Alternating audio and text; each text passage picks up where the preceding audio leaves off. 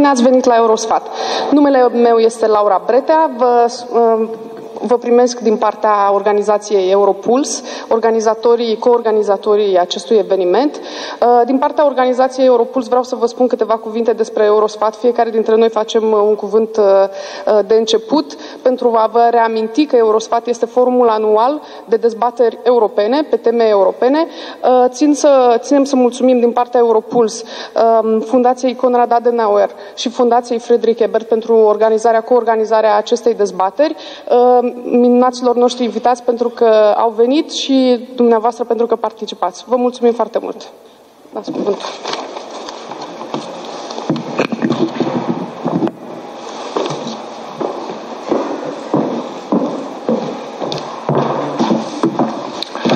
So, honorable members of the European Parliament, uh, ladies and gentlemen, also on behalf of the Friedrich Ebert Stiftung, I would like to welcome you to this uh, panel discussion with uh, Romanian candidates uh, for the European Parliament.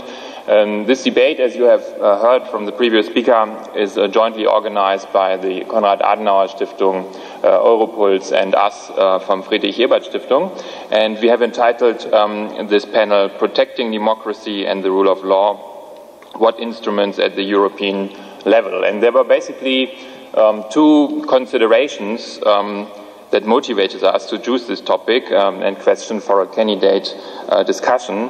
Uh, one observation derives from looking at the EU level, and another uh, consideration derives when we look at the debates on rule of law here in Romania.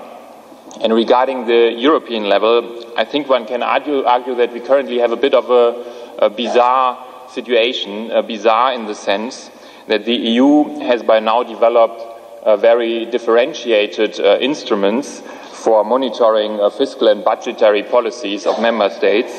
Uh, but there are only very, very few and certainly not very targeted instruments when it comes to safeguarding the rule of law and to monitor democratic standards in member states. And this is, one can argue, a point of concern given the fact that there are many studies that by now suggest that the quality of democracy in many old and new member states, likewise in the EU, um, have stagnated uh, at best or also uh, declined in some member states. In the case of Romania and Bulgaria, we have, as you all know, the cooperation and verification mechanism in place. But why Romania and Bulgaria and not other member states that might face um, similar challenges uh, in the area of rule of law? That is a question that is often asked here, raised here in uh, Bucharest, but not only here. So there is, um, from our point of view, a need to discuss what instrument uh, does the EU have, um, and also to raise the question, should there not be more and maybe more differentiated instruments for the EU uh, to monitor and safeguard um, the rule of law and the quality of democracy in old and new member states likewise. But before one can identify the right instruments, one obviously also has to have a proper diagnosis about the nature of the problem and here we come to the debate about the rule of law in Romania. Um, in Romania, the answers to the question if there is a problem with the uh, rule of law and what can be done about it differ substantially. There is not um, very much consensus, or there seem at least not to be very much consensus between the political parties. And also the debate around the rule of law in Romania are from time to time conducted in a very you know, antagonistic manner. Um, so against this background, we are convinced that today we can provide a platform for discussing the rule of law uh, here in Romania ahead of the European election campaign in a constructive way. And constructive means uh, to outline the distinct uh, political positions that exist, uh, but to be at the same time reminded about the fact that um, as democratic actors, you usually also stand on a, a joint and solid platform of shared uh, political beliefs when it comes to uh, discussing the rule of law. This can be, for instance, the belief that the rule of law is a prerequisite for any democratic system to function, and that could also be the joint understanding that um, in order to safeguard the rule of law, political actors need to play by the rules uh, instead of playing with the rules. And having such a joint fundament helps a lot um, uh, to see electoral debates uh, on the rule of law like this simply as a friendly, uh, pluralistic competition uh, for the best political ideas. And this is exactly the spirit in which we want to have today's discussion with candidates from various political camps. The speakers will be introduced later by our two moderators, Victoria Stoitschu from Friedrich Ebert Stiftung and Andrei Avram from Konrad Adenauer Stiftung. But I would like to already use the opportunity and thank uh, Katalin Ivan, uh, Monika Makovey, Norika Nikolai, and Christian Breda for having followed our invitation here today. Uh, thanks goes also to our partners from uh, Europuls and to our partners from uh, Konrad Adenauer Stiftung. And this is where I would like uh, to hand over to my colleague um, Thorsten Geisler, the head of the Rule of Law program um, of Konrad Adenauer Stiftung, for his welcoming remarks. And I wish us very fruitful and um, constructive discussions today. Thank you.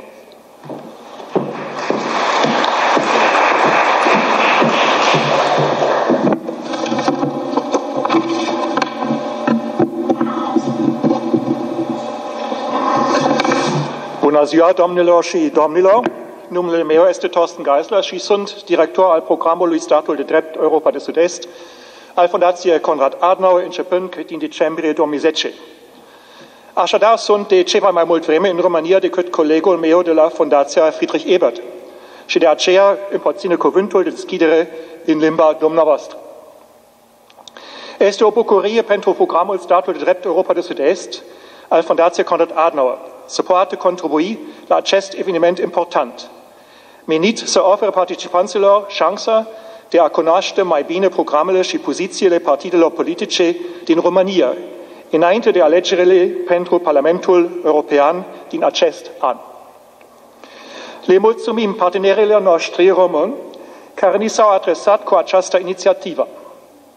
Organizarea unui dialog, dialog între politicieni și cetățenii cu drept de vot este o inițiativă exemplară din partea societății civile. Este un semnal bun pentru încă tânără democrație din România faptul că societatea civilă participa, participa tot mai mult la dezbaterile publice cu privire la chestiuni politice importante. Ambele părți vor profita de această evoluție. Politicienii vor afla ce îi doare pe oamenii, iar societatea civilă poate să își contureze o imagine așteptările pe care le poate avea de la partide și reprezentanții acestora. Mă bucur mult și că sunt prezente împreună astăzi două fundații germane care reprezintă familii politice și concepții diferite. Noi, în calitate de creștini democrați, oferim răspunsuri diferite pentru multe întrebări politice prin comparație cu colegii noștri, noștri socialdemocrați. Partidele cărora le suntem apropiați sunt adversari politici în Germania, chiar dacă în prezent guvernează împreună în cadrul unei mari coaliții. Nu a fost o, coaliție, o cazătorie din dragoste, ci de un mariaj de ordin pragmatic – întrucât țara are nevoie de o guvernare stabilă și nu existau alternative. Protocolul de coaliție ce cuprinde 134 de pagini reprezintă un compromis negociat cu greu. Faptul că a fost posibil se datorează și realității că, în ciuda diferențelor programatice, există și poziții comune ale celor două partide. Când este vorba de democrație și stat, statul de drept sau despre drepturile omului și ale minorităților, nu există diviziune între creștini democrați și social, social-democrați. Doamnelor și domnilor, 25 mai este pentru toți cetățenii Uniunii Europene o zi importantă. Practic niciun parlament din lume nu a luptat de la înființarea sa pentru extinderea drepturilor sale, cum a făcut-o Parlamentul European. Dintr-un instrument democratic decorativ, a devenit un veritabil colegiuitor, ce controlează cu succes celelalte instituții ale Uniunii Europeană. Iar 25 mai este o zi în care cetățenii își pot arăta angajamentul față de unificarea europeană.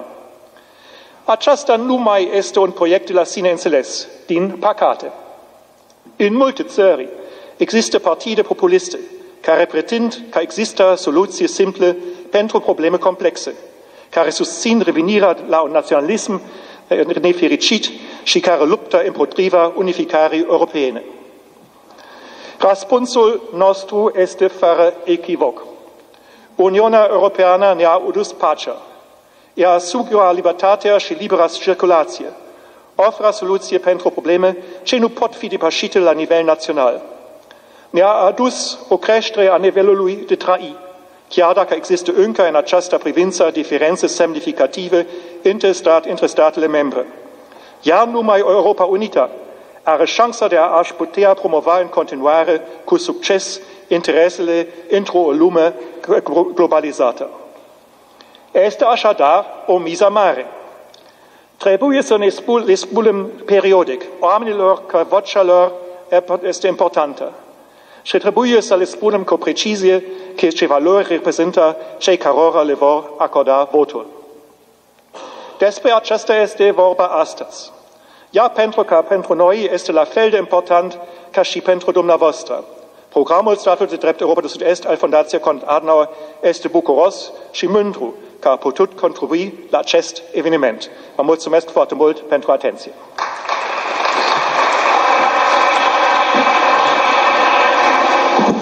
Mulțumim, domnule Iobelius, mulțumim, domnule Geisler, bună ziua! Pentru că nu există diferențe semnificative între stânga și dreapta, între socialiști și populari în ceea ce privește statul de drept, dezbaterea de astăzi va fi comoderată de către mine împreună cu colegul meu, Andrei Avram, de la stat, programul Statul de Drept Europa de Sud-Est al Fundației Conrad Adenauer Stiftung.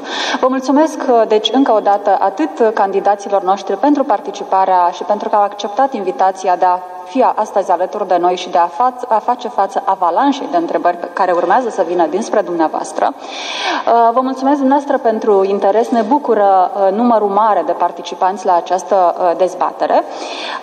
Vom încerca să folosim cât de eficient se poate timpul alocat. Am, ne-am dorit să încheiem cu adevărat la ora, 11, ora 13, îmi cer scuze, chiar dacă am început cu întârziere din cauza că sesiunea anterioară s-a terminat mai târziu.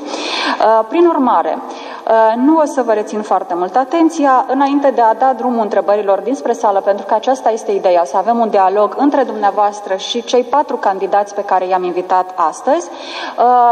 Uh, ne vom uh, rezerva uh, privilegiul care revine oricărui organizator și comoderator de a adresa câteva întrebări pe care le-am pregătit în prealabil și pe care le-am și transmis de altfel uh, celor patru candidați care sunt invitați, cu rugămintea de a răspunde cât de succint în maxim 3 minute. Voi adresa astfel prima întrebare Uh, care este, se referă la mecanismul de verificare și cooperare. Uh, care sunt perspectivele monitorizării României în cadrul mecanismului de cooperare și verificare în următorii cinci ani și cum vede familia politică din care faceți parte utilitatea și necesitatea mecanismului de cooperare și verificare? Uh, vom răspunde în ordine alfabetică pentru a evita orice discriminări în afară de cele care țin doar de alfabet. Prin urmare, primul pe ordinea celor care vor lua cuvântul este domnul Cătălin Ivan. Mulțumesc mult. Evident că este un deziderat pentru absolut toate partidele politice ca în 5 ani sunt mulți, dar să spunem, ați dat dumneavoastră acest orizont de timp, ca în 5 ani de zile să scăpăm de această vulnerabilitate și să fim un stat membru cu drepturi de pline în Uniunea Europeană. Acest mecanism de cooperare și verificare este un mecanism evident util, pentru că justiția din România are nevoie de această cooperare și de uh, conlucrare cu instituțiile europene.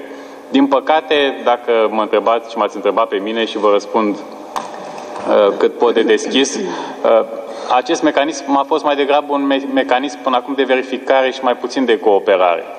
Și cred că aici se poate Uh, se pot face progrese mult mai uh, evidente în perioada următoare printr-o comunicare mai bună cu instituțiile europene, pentru că eu cred că, din potrivă, cooperarea este mult mai importantă și apoi verificarea pe parcurs a eventualelor uh, progrese făcute de statul respectiv. Deci, din punctul meu de vedere, acest mecanism de cooperare și verificare trebuie să continue dar trebuie schimbată puțin logica lui de funcționare și modul în care instituțiile din România lucrează și cooperează cu instituțiile europene.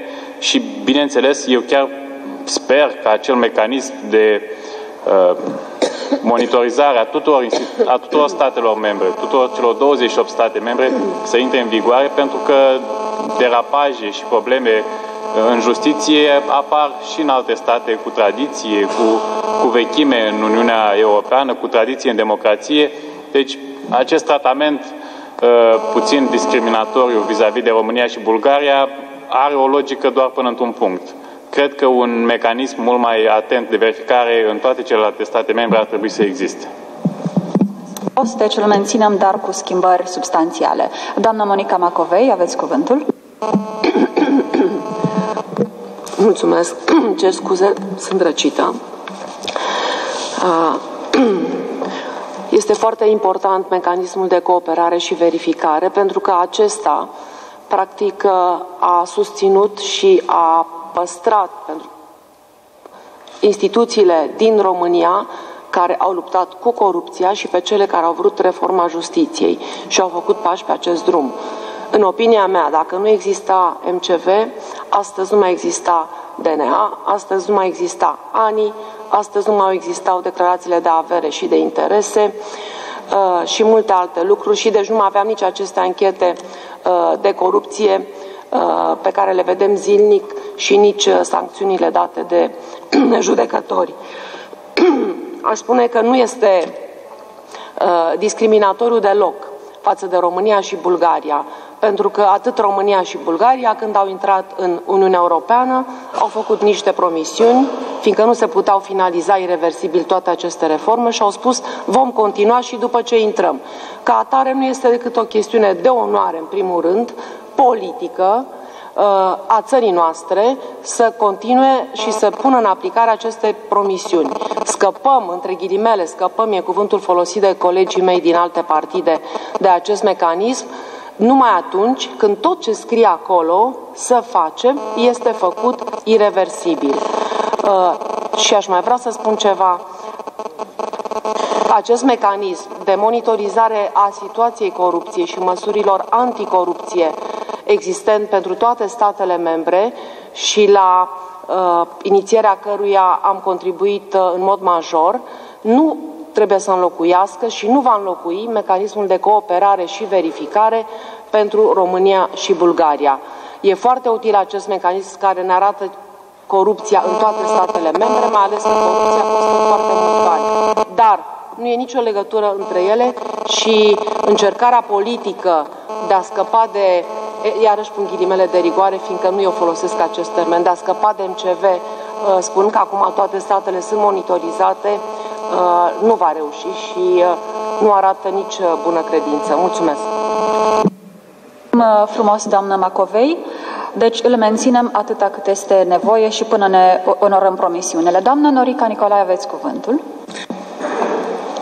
N-am să vorbesc despre istoria introducerea acestui mecanism, care, pe care din plan juridic îl consider un mecanism sui generis, se adresează uh, la două state intrate în 2007, România și Bulgaria.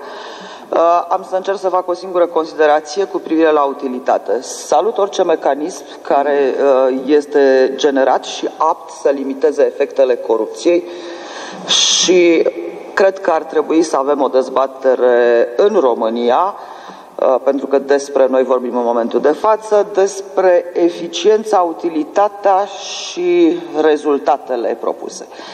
Ar fi foarte interesant să avem o analiză foarte clară a fenomenului corupției și a modului în care el a evoluat uh, de la introducerea mecanismului până în prezent. Cert este că pornind cu patru benchmark-uri inițial în uh, acordul cu România, acestea s-au multiplicat în așa fel încât uh, vorbim de câțiva ani de o perpetuă reformă a administrării justiția, justiției în România, reformă care, în opinia mea, nu și-a atins scopul, pentru că ultimile benchmark-uri care priveau intrarea în vigoare a codului Uh, din dezbaterea publică, din ceea ce uh, ne este uh, adresat ca informație în legătură cu administrarea justiției, se pare că și aceste patru realizări sunt vulnerabile și susceptibile de noi dezbateri și de noi modificări. Cred însă că acest mecanism a creat o vulnerabilitate în plan politic României, pentru că nu pot accepta ca uh, achiul Schengen, conform tratatului, să nu fie aplicat tale goale de către statele membre, Uh, și România și Bulgaria să fie exceptate de la aderarea de la Schengen, motivându-se acest mecanism de verificare și uh, monitorizare. De asemenea, recent în Parlamentul European s-a adoptat un raport care viza uh, uh, descărcarea de gestiune a Comisiei Europene, uh, agențiile executive, și unul, două texte în acest raport vizau situația statului de drept în România, două evenimente care s-au petrecut în Parlamentul României anul trecut. Unul privea ceea ce public se numește Marțea Neagră, tentativa de modificare a codurilor și situația conflictului de interese la aleși locali.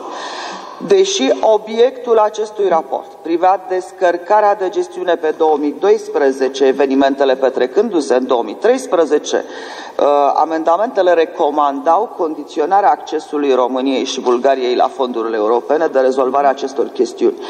Din punctul meu de vedere, regimul juridic al accesării fondurilor europene este unul diferit și nu este condiționat în tot achiul comunitar de acest mecanism.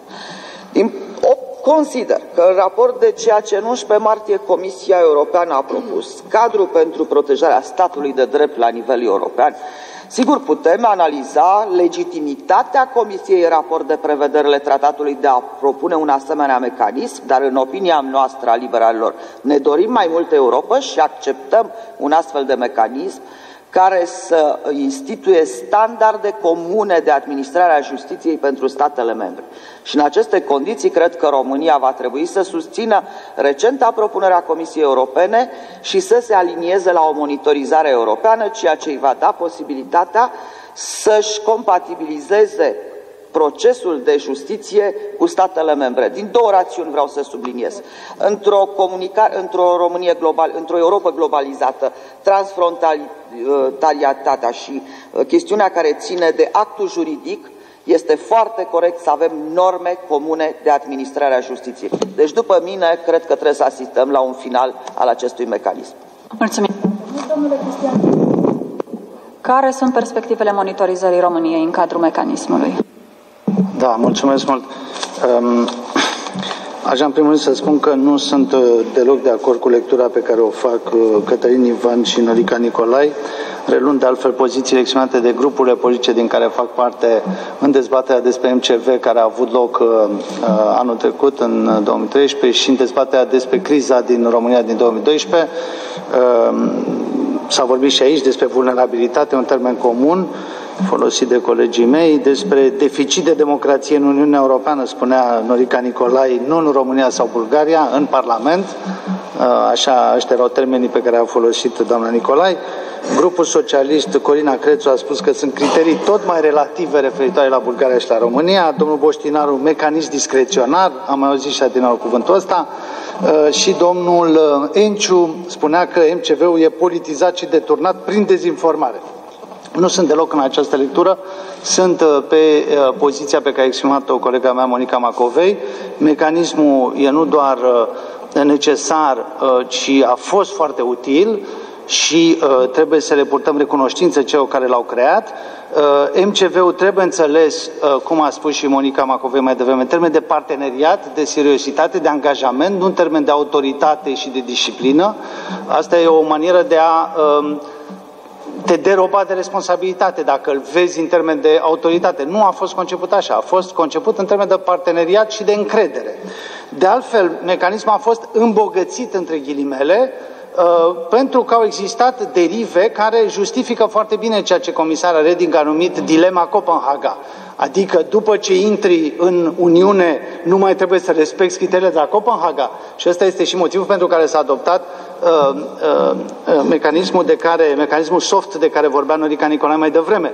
Uh, iarăși, cred că uh, trebuie să vedem uh, de ce uh, o criză cum a fost cea din vara lui 2012, de ce Marțea Neagră pe care a citat-o și Norica Nicolai, uh, Marțea foarte neagră, spune eu, Uh, de ce uh, comportamentele recente ale majorității, care e o majoritate pornită, e o majoritate anti-MCV, de ce toate astea nu sunt, nu sunt curmate și care sunt mecanismele care ne permit de la nivel european să intervenim. Eu de altfel susțin um, recentele, recentele amenajări um, post-Copenhaga, să zic așa, um, care uh, dau o uh, garanție suplimentară pentru, uh, pentru respectarea drepturilor fundamentale și pentru independența justiției. Deci, cred că trebuie să revenim la uh, o linie a responsabilității și a angajamentului și să nu intrăm într-o lamentație care este pur și simplu uh, ridicol atunci când părăsim uh, incinta autohtonă. Uh, există în acest moment o majoritate în România care vrea să meargă împotriva respectului față de independența justiției, împotriva MCV-ului. Problema este uh, foarte clară. Eu cred că uh, Uh, MCV-ul ar trebui uh, făcut și mai riguros și mai uh, sever decât este în acest moment, tocmai pentru a bloca orice tentativă precum cele pe care le, le-am văzut din 2012 încoace. Mersi. Vă, vă mulțumim foarte mult. Să părăsim, după cum a spus domnul Preda, incinta autohtonă. MCV-ul suscită interes în România și în Bulgaria, dar Panelul nostru se numește Protejarea democrației și statului de drept, ce instrumente la nivel european și este în curs de creare un instrument foarte important și anume cel al uh, Procurorului General European. Și de aceea am dorit să știm de la toți candidații ce poziție aveți față de propunerea Comisiei Europene de înființarea acestei instituții și în ce măsură credeți că România ar beneficia de pe urma acesteia? Începem tot uh, în ordine alfabetică de la domnul Ivan. În primul rând, uh, dacă îmi permiteți un răspuns foarte scurt pentru domnul Preda, mm, deși nu suntem într-o dezbatere electorală, sau cel puțin eu nu am venit pregătit ca să iau voturi de aici din sală, uh, totuși, l-aș ruga să iasă puțin cu nasul din notițele cu care a venit pregătit, pentru că la masa asta nimeni n-a spus absolut nimic de MCV ca fi împotrivă. Eu nu am auzit, nu m-am auzit nici pe mine și știu foarte bine ce spun, n-am auzit-o nici pe doamna Norica Nicolai, bineînțeles că n-am auzit-o pe doamna Macovei spunând așa ceva, deci domnul Preda, nimeni nu este împotriva MCV-ului, nimeni nu consideră acest mecanism ca fiind unul nociv pentru, pentru România nu am spus-o și o spun de câte ori am ocazia, cât de răspicat pot. Acest mecanism este util, numai că o cooperare mai bună între instituțiile din România și cele de la Bruxelles ar trebui să existe, pentru că e un mecanism de cooperare și apoi de verificare.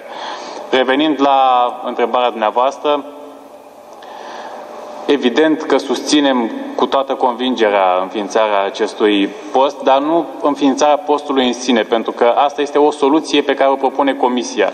Susținem principiul în sine, principiul de luptă împotriva fraudei.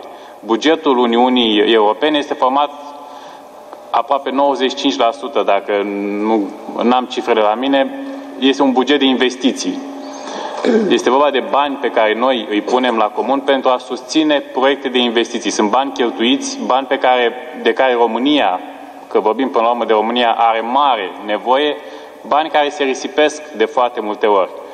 O, o soluție de luptă împotriva fraudei mult mai concretă la nivel european. Până acum se ocupa Olaful și o făcea destul de bine, dar o întărire a acestei capacități a Uniunii Europene de a lupta împotriva fraudei și o corelare mai bună cu instituțiile de la nivel național care să lupte împotriva fraudei, că se cheamă procuror general, nu știu, nu, mă, nu sunt de specialitate, sunt economist.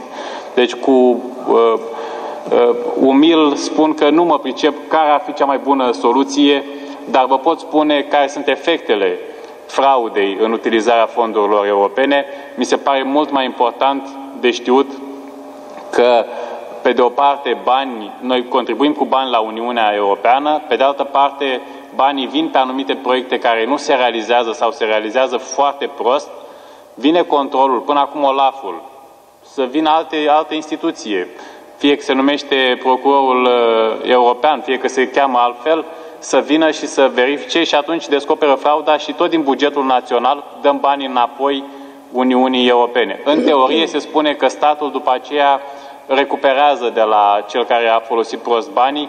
În realitate, rata de recuperare este foarte scăzută, aproape nu contează. Deci, dăm bani la Uniunea Europeană, nu ne, nu ne alegem cu proiectul și mai dăm și bani pe proiectele respective înapoi Uniunii Europene. Deci suntem de cel puțin trei ori păcăliți.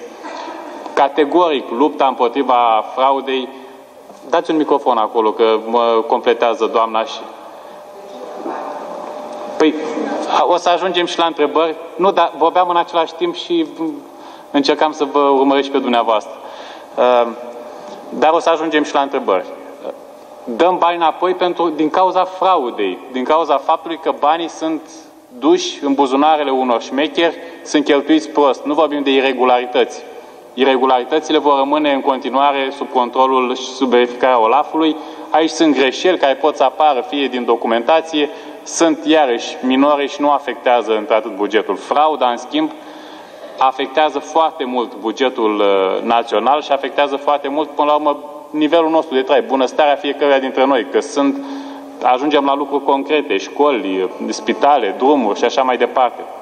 Deci, categoric, pentru un mecanism mult mai puternic de luptă împotriva fraudei la nivel european, soluția să o spună juriștii, să o spună cei care se pricep, nu mă pricep la um, așa ceva, dar uh, categoric suntem, suntem pentru. Mulțumim uh, domnului Ivan. Doamna Macovei. Mulțumesc. Uh, în primul rând m-aș referi la contribuția României la Uniunea Europeană în raport cu fondurile pe care le absorbim, pentru că Uh, domnul Ivan s-a referit la această chestiune. Deci, unu, uh, România plătește din anul 2007, de când a intrat în Uniune, uh, cota totală, contribuția totală, 1% din PIB la Uniunea Europeană. Plata contribuției totale a fost negociată de guvernul PSD condus de Adrian Năstase. Aș vrea să vă spun prin comparație cum au negociat alte țări. De pildă Danemarca. Danemarca a negociat să plătească contribuția la bugetul Uniunii Europene proporțional cu fondurile pe care le absorbă. Deci nu toată contribuția din primul an, ci proporțional cu câte fonduri europene uh, ia de la Uniunea Europeană și le poate folosi. Prin urmare, îți dau atât cât pot lua de la tine. Uh, noi plătim tot, repet, pentru că a fost o negociere foarte prost făcută uh, de guvernul PSD condus de Năstase. Uh, doi, procurorul european. Eu susțin foarte mult crearea acestei instituții exact cu acest nume și propunerea Comisiei. De altfel, înființarea instituției procurorului european este prevăzută în tratatul de la Lisabona. Prin urmare, discuțiile să facem alte instituții, să-i dăm alt nume, sunt, sunt de prisos. În ceea ce privește atitudinea Guvernului României, a Parlamentului României, a USL, care se află la putere, a fost următoarea. Atunci când Parlamentul României a fost întrebat de către Comisia Europeană, alături de alte parlamente, ce părere are despre înființarea procurorului european, România a răspuns, nu vrem procuror european. Și mi-amintesc că era chiar domnul Relu Fenechiu, care astăzi este la închisoare, fiind condamnat penal, care a răspuns fiind în acel moment președintele Comisiei de Afaceri Europene și a spus chiar ce atâta justiție pentru justiție. Sigur, le enerva atâta justiție, mai ales când era într-un proces penal. Deci România a spus nu. Se va face. Au spus și alte țări nu, dar ele au spus pentru că au un sistem care funcționează foarte bine de protecție împotriva fraudei și nu se poate spune același lucru despre România. 3. Argument pentru înființarea acestei instituții. Astăzi, oficiul de fraudă împotriva, oficiul care luptă împotriva fraudei cu fonduri europene, OLAF, face numai investigații administrative. Deci se oprește într-un anumit punct. Apoi trimite instituțiilor din statele membre, poliție, parchet. La noi este DLAF și DNA care continuă sau nu continuă aceste investigații administrative ale OLAF. Problema este că dacă ne uităm pe toate statele membre, procentual, să vedem câte din aceste investigații începute de OLAF, pentru, uh, prin care descoperă uh, fraude aduse fondurilor europene, ajung în instanța de judecată, pentru că uh, investigațiile trebuie finalizate de, de uh, autoritățile naționale, o să vedem că cifra este sub 50%, este mică. Uh, ca atare, este nevoie de procurorul european care va finaliza anchetele. Deci, nu va fi ca acum doar anchetă administrativă, ci va finaliza o anchetă penală până la capăt și va folosi procurori din toate statele membre și se va baza pe legislația statelor membre. Dacă face o percheziție în România, evident va urma legea din România. În Germania va urma legea din Germania. Va lucra procurorul european, în principal pe cazuri de fraudă transfrontalieră, pentru că există, și la finalul unei anchete, repet, penale, va trimite în judecată pe persoana uh, X sau Y care, uh, pe care o consideră vinovată de fraudă, la instanța de judecată din statul membrul în care aceasta uh, locuiește sau uh, trăiește sau se află. Uh, prin urmare, aceasta este procedura. Era necesar pentru că, repet, ce avem astăzi e ineficient. Astăzi avem OLAF doar cu anchete administrative, foarte puține finalizate prin trimitere în judecată. Deci da, ca să protejăm aceste fonduri europene și să avem bani, pentru că sunt fonduri publice, să avem bani de pensii, de școli, de grădinițe, de spitale, uh, de șosele, de autostrăzi și de tot ce au nevoie oamenii, trebuie uh, să luăm banii înapoi, că asta este ideea. Nu numai să trimitem oamenii la închisoare, ci să recuperăm banii. Mulțumesc! Și noi vă mulțumim și o rugăm pe doamna Nicolae să ne spună punctul dumnei de vedere. Înainte de a-mi exprima opinia cu privire la procurorul european, vreau să revin la dezbaterea noastră care vizează democrația. Democrație înseamnă, printre altele, și libertatea de opinie. Toleranța și diversitatea opiniilor sunt cheia democrației europene. A încerca un monopol al uh, opiniilor, al dreptății, înseamnă intoleranță și de aici drumul spre un anume, o anume tentație totalitară și o anume abordare autocrată este foarte scurt. Europa a mai avut în istoria ei un astfel de drum, dar slavă Domnului, drumul acela s-a încheiat și astăzi Europa are pace, are convenții care protejează diversitatea de opinie. Deci, ca atare, cred că de aici trebuie să pornim în analiza stadiului democrației. Sunt unii obosiți pentru că ei consideră că opiniile lor valorează și regulă, valorează și democrație, ceea ce nu e cazul. Da, pentru procurorii europeni. Este o instituție prevăzută în tratatul de la Lisabona, o instituție pe care trebuie să o construim, pe care trebuie să o construim solid. Din păcate, după foarte mulți ani în care fondurile europene au susținut dezvoltarea statelor membre, s-a constatat această tentație de fraudă din ce în ce mai evidentă, nu numai în România, ci și în multe state membre.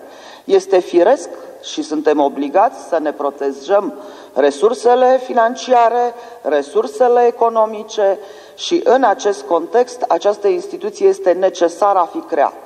Trebuie însă de la început să-i precizăm clar competențele, să-i precizăm dialogul și pun ghilimele în realizarea justiției în raport de statele membre, pentru că nu avem un sistem unic de justiție european, este o diversitate de sisteme, justiția fiind un act cultural și o chestiune care ține și de tradiția istorică a popoarelor europene. Nu cred că Anglia va renunța vreodată în favoarea sistemului său judiciar de common law, în uh, favoarea unui sistem european, pentru că vine din tradiție, tradiția ei, e greu să renunți la Magna Carta, Uh, va trebui să găsim mecanismele eficiente de conlucrare cu instituțiile de justiție națională și cu siguranță ceea ce este esențial este nu numai să realizăm, să avem pedepsă pentru cei care fraudează fondurile europene, uh, este foarte important, de altfel ca și în sistemul intern, să avem recuperarea prejudiciilor. Da, mulțumesc foarte mult. Uh, lucrurile stau în felul următor. Uh, trebuie să vedem chestiunea instituțională. Comisia a propus, s-a aplicat procedura numită a cartonașului galben. De ce? Pentru că 14 camere din 11 state au avut obiecții. Și, într-adevăr, din România a venit această uh, reacție absolut bizară, pentru că, de fapt, o cameră a zis da și una a zis nu. Da, a zis Fenechiu, sen, Senatul, adică uh, Fenechiu s-a opus uh, instituirii... Camera. Da, Camera s-a opus uh, Uh, creierii uh, procurorului european, în timp ce Senatul a zis ok, dar în fine, s-a luat în calcul între aceste 14 uh, camere din 11 state, pentru că se iau în seamă, evident, uh, toate sistemele, fie ele monocamerale, fie bicamerale, în acest din urmă caz, uh, luându-se în seamă cele două opinii care vin dintr-un stat membru. Acum, după votul Parlamentului din ianuarie, pentru că după aplicarea cartonașului galben, Comisia a menținut propunerea și în Parlamentul European s-a votat foarte clar în 12 martie, iar acum urmează ceva foarte simplu, adică nu sunt uh, mari descoperiri, nu știu de ce nu spunem lucrurilor pe nume, fiindcă ceea ce urmează acum este pasul din Consiliu, dacă în Consiliu toate, membre, toate statele membre ar adopta propunerea Comisiei în unanimitate, s-ar trece la crearea începând de la 1 ianuarie 2015, asta a fost data propusă de doamna Reding, și până în 2023 a mecanismului, cu toți cei 235 de angajați, pentru că e vorba de o creare uh, progresivă în, în timp.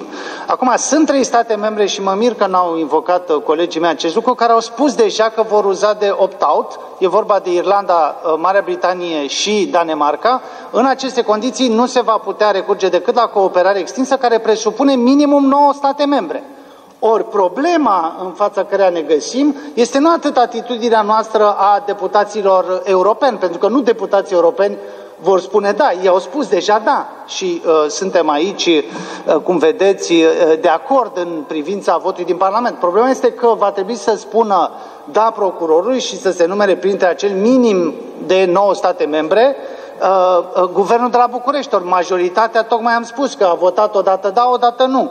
Uh, odată cu gândul la uh, prea multă justiție, cum spunea Fenechiu, între ghilimele, și odată uh, înțeleg că liberalii au gestionat acest, tot, liber, tot PNL-ul a gestionat votul da, adică e un PNL care a zis cu o gură da și cu altă gură nu, pe aceeași temă. Deci, Guvernul României se va pronunța în această chestiune. Noi în Parlament am spus ce trebuie făcut. Eu personal sunt pentru intrarea în vigoare la 1 ianuarie 2015. Îi invit cu tot respectul pe europarlamentarii care sunt din arcul guvernamental să scrie guvernului și să-i uh, preseze în acest sens, pentru că ar fi ridicol ca uh, și guvernul să spună o zi da și o zi nu, cum s-a întâmplat cu camera unii da și cealaltă cameră nu. Acum, revenind la uh, ce spunea doamna Nicolai, am uitat să precizez că și eu, eu am votat împotriva grupului PPE în uh, rezoluția uh, despre care domnia sa a vorbit, în favoarea unei suspendări temporare a fondurilor europene uh, pentru situațiile în care există încălcare sistematică a drepturilor omului sau a instituțiilor Uh, care țin de justiție. Și voi susține acest punct de vedere, fondurile trebuie tăiate și trebuie tăiate imediat ce există asemenea încălcări flagrante. Și cred că la comisie, cu mecanismul de alertă timpurie de care vorbeam, va trebui să se fixeze un calendar foarte scurt de reacție în cazurile de derivă de la statul de drept și de la drepturile fundamentale, pentru ca suspendarea fondurilor să doară cum uh, trebuie imediat ce se produce deriva. Deci cred că la nivelul Comisiei trebuie stabilit foarte clar în, în cei trei pași care sunt prevăzuți în mecanismul de alertă timpurie, care să uh, preîntâmpine cumva aplicarea articolului 7, uh, trebuie prevăzut un calendar foarte scurt de evaluare și de uh, construcție a uh, Uh, unui asemenea dispozitiv de tăiere a fondurilor, pentru că altfel uh, uh, foarte mulți demagogi vor profita și vor încerca să, cum se cheamă, să înfrumusețeze lucrurile. Și da, îmi pare rău să o spun, doamnă Norica Nicolai, sunt intolerant față de pungași. Și cred că în Uniunea Europeană există o intoleranță față de corupție care ar trebui să producă impact în România între altele, pentru că în România pare să se instaleze o toleranță față de uh, corupție. Așa cum am spus, avem o majoritate care este am văzut-o și astăzi în declarație primul ministru, foarte îngăduitoare cu corupția. Primul ministru a spus, nu mă dezic de cei care sunt anchetați sau trimiși în judecată. Cred că trebuie să fim intoleranți față de corupție și față de îngășire, inclusiv cu fonduri ne-europene, cu fonduri strict românești. Mersi. Mulțumim frumos, domnule Preda. Mai avem câte o singură întrebare pentru fiecare candidat. Uh, domnule Cătălin Ivan, în ultimii ani, uh, de când au început negocierile de aderare și după 2007, uh, Comisia Europeană a avut mai multe luări de poziție vis-a-vis -vis de diverse evenimente care sau evoluții care afectau statul de drept din România. Luări de poziție care au declanșat o serie de reacții foarte diverse pe plan local local. Care este poziția dumneavoastră și cum vedeți rolul Comisiei Europene în raport cu România în ceea ce privește semnalarea deficiențelor statului de drept? Poziția nu poate fi decât aceeași ca în 2012, aceeași din 2012 încoace. Nu mi-am schimbat-o și nu mi-o voi schimba pentru că uh, deși instituțiile europene sunt cele care reprezintă cel mai bine valorile europene și categoric Comisia Europeană poate fi un gardian al respectării statului de drept în toate statele membre ale Uniunii Europene, nu putem să acceptăm, sau eu personal nu pot să accept că um, intervențiile de la Bruxelles sunt în funcție de culoarea politică uneori a guvernelor din statele respective. Um, nu s-a întâmplat doar în România, s-a întâmplat în mai multe cazuri când aceeași comisie, cu aceeași conducere, cu același președinte de comisie, cu aceiași comisar, au fost mult mai încăduitoare când guvernul era de dreapta și mult mai intransigente când guvernul era de stânga. Mult mai hotărâte să lupte pentru apărarea statului de drept când erau socialiștii sau uh, alte formațiuni politice la guvernare în statele respective și parcă mai închideau ochii când erau de lor. Poate era mai bună comunicarea, fiind în aceeași familie politică, nu pot da seama. De asta comunicarea este foarte importantă și când vorbim de statul de drept. Se întâlnea probabil la mai multe congrese, conferințe ale popularilor și atunci între ei discutau altfel, mult mai uh, dezinhibat, mult mai relaxat. Când, vorbeau de, când venea vorba de alte formațiuni politice, era doar comunicare oficială și asta este mult mai rigidă. Poate fi și asta o explicație. Eu nu cred că pozițiile de la Bruxelles sunt infailibile. Nu cred că cei de acolo țin adevărul absolut. Uh, i-am cunoscut, sunt 5 ani de zile de când lucrez la Bruxelles, lucrez cu comisari, lucrez cu uh, comisia. Nu este o instituție în lumea asta care să dețină adevărul absolut și să respecte toate valorile în care noi credem și să nu existe nicio fisură în abordările lor. Nici Comisia Europeană nu face uh, aici uh, notă discordantă, iar eu cred că dacă tot vorbim de statul de drept și tot vorbim de Comisia Europeană ca un garant, ca un luptător al statului de drept, trebuie să discutăm și despre felul în care Comisia își fundamentează deciziile. De unde își culege informațiile atunci când ia decizii și ia poziții uh, publice. Există un mecanism transparent, obiectiv, sau sunt căi informale pe care le folosește Comisia atunci când își uh, stabilește o anumită poziție? Eu cred că trebuie să vorbim foarte concret și cum, și cum instituționalizăm mult mai clar, mult mai transparent comunicarea între Comisie, între instituțiile europene și statele membre. Pentru că dacă am avea o fundamentare a obiectivă, transparentă, clară a acestor decizii, atunci nimeni nu le-ar mai pune în niciun caz sub semnul întrebării. Nu se întâmplă deocamdată și eu cred că în mandatul următor ar trebui să discutăm și despre acest mecanism prin care Comisia Europeană își culege informațiile din statele membre și își fundamentează pozițiile publice ca să dăm deoparte această suspiciune, dacă vreți, este mai mult decât o suspiciune dacă e să fiu deschis până la capăt, dar să spunem o suspiciune, că atunci când guvernul are culoarea politică a Comisiei și poziția Comisiei este mult mai uh, domoală. Când guvernul are altă culoare politică, sunt mult mai intransigenți și vedeți și ce se întâmplă acum de un an de zile încoace, pentru că ne, ne apropiam de campania electorală și acum avem uh, alegeri pe 25 mai, Vedeți pozițiile lui Barroso, pozițiile doamnei Reding, pozițiile altor comisari și veți vedea că de multe ori îți dau senzația că sunt în plină campanie electorală. Eu cred că și aici Comisia are foarte multe de făcut pentru a se recredibiliza și pentru a fi instituția de care cu toții avem nevoie. Mulțumesc. Mulțumesc frumos, domnule Ivan. Uh, chiar dacă suntem la o dezbatere care își propune să discute în special despre instrumentele pe care există la nivel european în ceea ce privește protejarea statului de drept, nu putem să facem abstracție de, uh, de evenimentele locale și s-a invocat deja de, de către majoritatea participanților uh, evenimentul din vara anului 2012. Uh, astfel, întrebarea mea pentru doamna Monica Macovei este în ce măsură credeți că evenimentele sau criza politică din vara anului 2012 a afectat statul de drept din România și în ce măsură aceste uh, efecte sunt reversibile sau se mai simt și la ora actuală? Credeți că ceea ce se întâmplă momentan în România este cumva o consecință a ceea ce s-a întâmplat în vara anului 2012?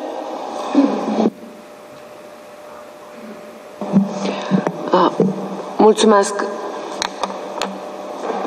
În primul rând, ceea ce s-a întâmplat în vara lui 2012 este exact o lovitură uh, dată statului de drept, adică mult mai mult decât uh, că are legătură cu statul de drept. A fost o lovitură dată statului de drept și asta a fost și intenția celor care au făcut acest lucru.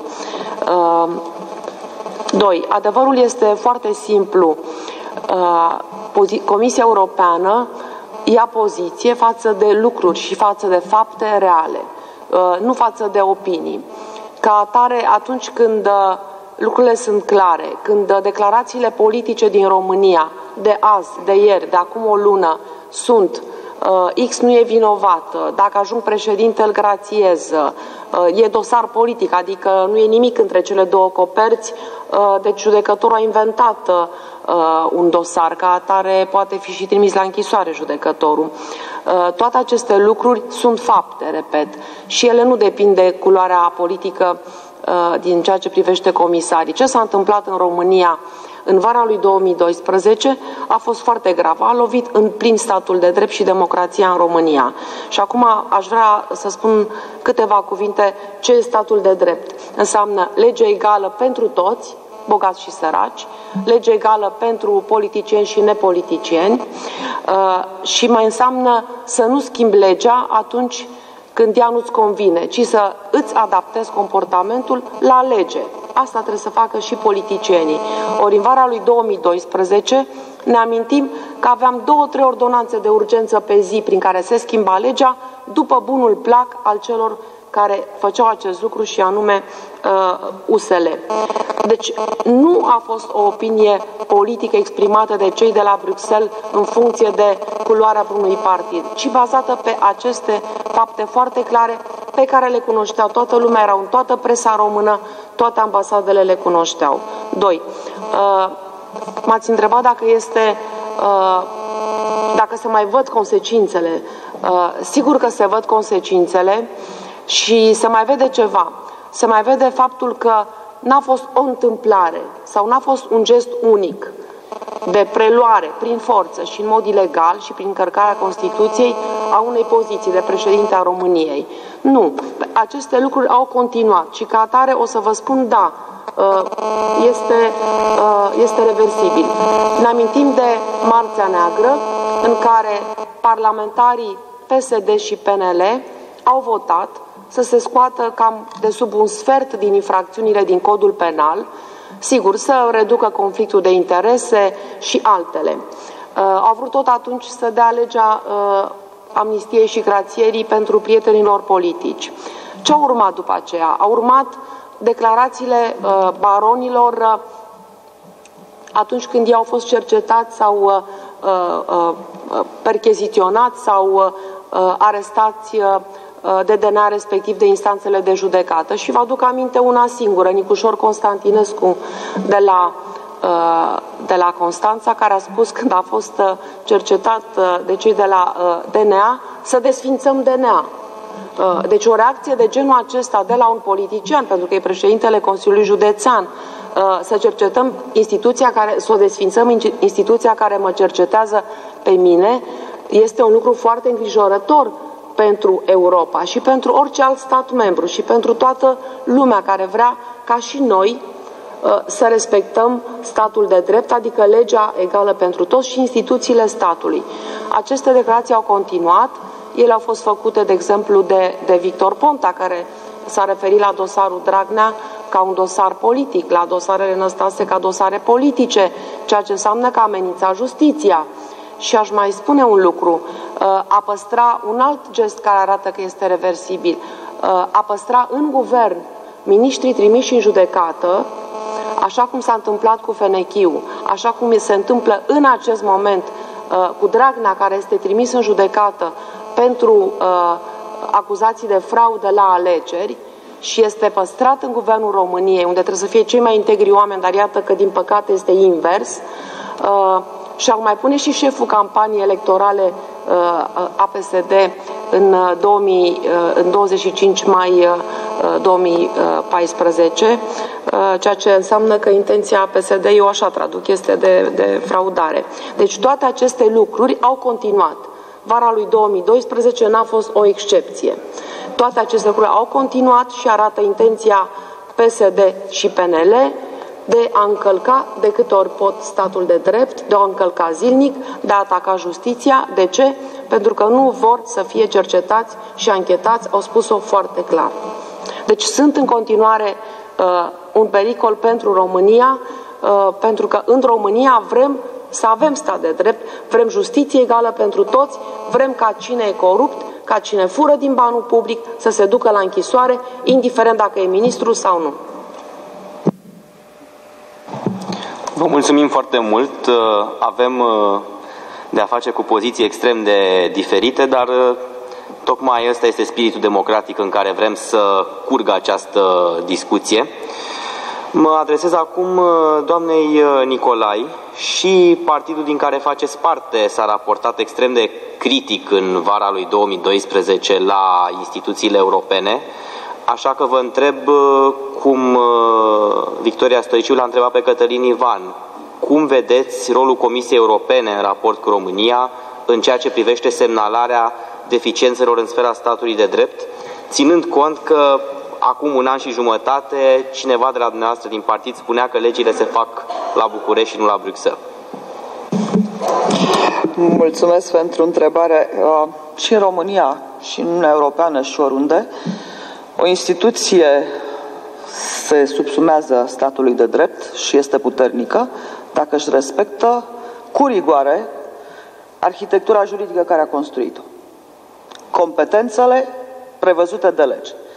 Comisia Europeană, conform competențelor prevăzute de tratate, este o structură apolitică. Comisarii nu mai reprezintă națiunile, ci reprezintă interesele europene.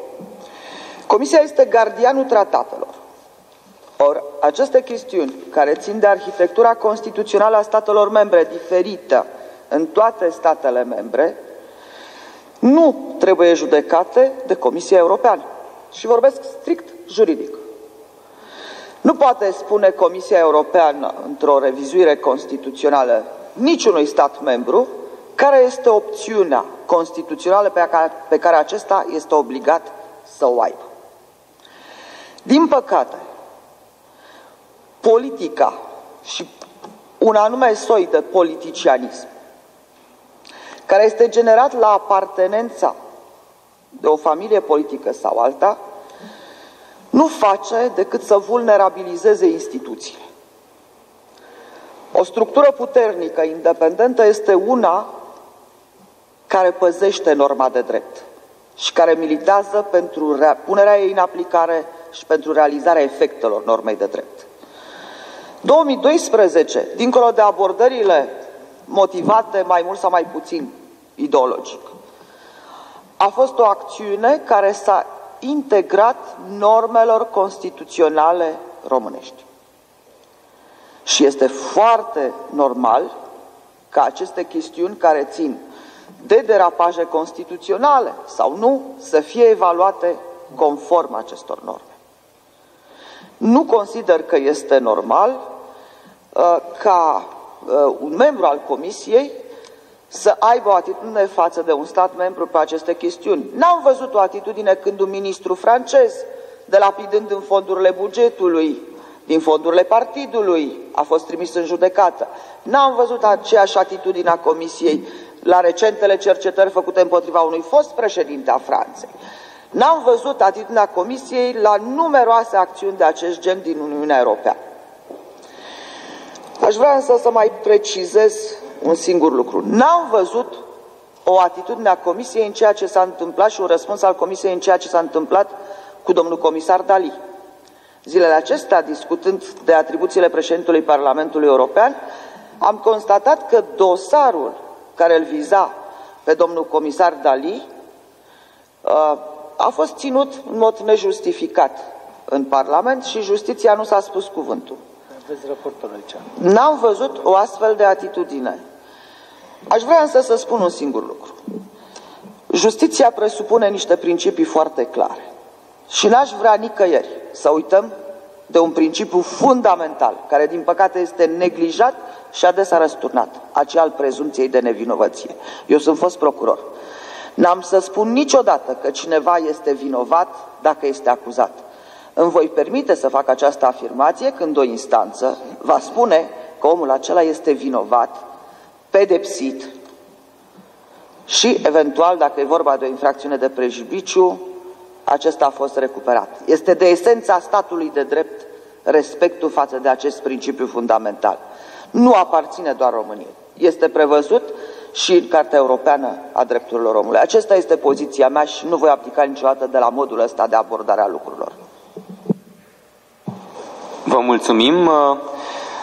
Domnul Preda face parte din aceeași uh, familie politică ca doamna Macovei și în uh, vara lui 2012 critica ce se întâmpla în uh, România.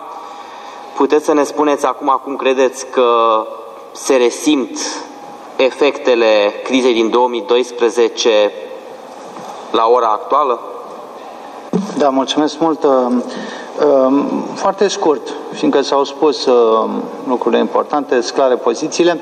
În lectura mea, criza din 2012 ehm, afectează și va afecta în mult mai mare măsură România, percepția asupra noastră în cadrul Uniunii decât a făcut-o mineriada din 1990, dintr-un motiv foarte simplu. Atunci eram în afara comunității lor europene, Astăzi suntem în interiorul Uniunii și e firesc ca decepției din, uh, sau decepția din 1990 să fie surclasată de stupoarea care a fost creată în 2012. Asta o spun uh, nu doar uh, oamenii politici europeni, o spun think tank-uri, grupuri independente sau grupuri afiliate chiar la stânga, chiar la liberali. Cred că oricine se poate informa în privința lecturilor făcute în afara uh, grupului USL care uh, vorbește despre infailibilitate cu foarte multă ușurință. Uh, aș vrea să spun apropo de chestiunea pe care au ridicat-o și domnul Ivan și doamna Nicolai, două lucruri foarte simple. Uh, este uh, inexact să se afirme faptul că uh, actuala Comisie Europeană și în particular doamna Reding ar fi tratat doar uh, cazuri în care s-ar fi produs derive sau uh, um, uh, crize ale statului de drept uh, în uh, guverne, în țări cu guverne socialiste. Atât în documente comisiei, cât și în analize făcute de experți independenți, neafiliați vreunui grup sau Există trei cazuri care sunt citate uh, sistematic și aici e vorba de criza din România din 2012, despre care s-a tot vorbit aici, și despre alte două crize petrecute în ultimii ani, care țin de guverne PPE. Un asemenea caz este Ungaria lui Orban și încercarea de a folosi supramajoritatea, supermajoritatea din Ungaria împotriva statului de drept, la fel ca și în 2012, iarna, ca să zic așa, e cam aceeași supermajoritate și exact aceeași logică. Deci, într-un guvern PP, insist, și mai mult decât atât, uh, aceeași comisie și aceeași doamnă Reding au criticat la fel de aspru Franța lui Sarkozy și în particular pentru tratamentul rezervat romilor. Deci a spune că Reding și Comisia au fost, am aici pentru domnul Cătălin Ivan, agent electoral al lui Traian Băsescu cu haină portocalie pe care o îmbrăcat, îi fac cadou hârtia, este inexact. Atât Comisia cât și doamna Reding... Găsiți pe YouTube discursul întreg, nu trebuie să-mi dați. Atât Comisia cât și doamna Reding în particular au vorbit sistematic despre aceste trei cazuri. Și acum, al doilea lucru pe care vreau să-i spun în particular domnului Reding, care, domnului Reding, domnului Ivan, care a afirmat de mai multe ori că și doamna Macovei și eu am dezinformat colegii, am să vă spun, domnule Ivan, că, într-adevăr, cu o zi... Nu, nu vă spun în particular, Nu, în special pentru dumneavoastră. Există un sens al termenului particular care înseamnă în special. Aș vrea să vă spun, pentru că ați spus de nenumărate ori din 2012 încoace că doamna Macovei și cu mine am dezinformat uh, Comisia și în special pe doamna Reding, că într-adevăr am cerut cu o zi înainte de declanșarea crizei de la București, împreună cu colega mea, Monica Macovei, o audiență la doamna Reding și nu am fost primiți de doamna Reding în acel moment. Deci, țin să vă asigur că doamna Reding a avut informații din multe alte surse decât cei doi parlamentari pe care i-ați luat ținte de atunci încoace. Și vă rog să mă credeți că nu folosim, nu servim interesul european al cetățenilor români, încercând să spunem că o comisie care a avut de înfruntat crize grave, atât crize economice și financiare, cât și crize ale statului de drept, și în Ungaria, și în Franța, și în România, a procedat partizan. Nu este adevărat și, repet, facem un mare de serviciu interesului european al României dacă încercăm să cultivăm această imagine a unei comisii care e, cum ați spus dumneavoastră, portocalie. Domne, nu e portocalie. Preda, doar foarte pe scurt. Foarte. Și eu, și eu vreo două. Și eu vreo două teme. Atunci, nu, îmi cer scuze, nu. O să dăm uh, întrebări, o să dăm drumul la întrebări. Îmi cer scuze. Acum o să dăm drumul întrebărilor din sală. Veți avea posibilitatea, posibilitatea să dați replica uh, contra candidatului în, timpul, în timp ce veți răspunde și întrebărilor din public. Nu putem să facem discriminări și dacă vă dau dumneavoastră cuvântul, uh, nu vom mai avea timp necesar pentru întrebările din sală. Aș vrea să invit uh, acum pe doamna Cristina Gușet și pe doamna Bianca Toma, care sunt deja înscrise pe ordinea uh, vorbitorilor, după care uh, aveți două colegi în sală care vă vor pasa microfonul, doamna Gușet, doamna Bianca Toma, de la Freedom House și respectiv de la CRPE.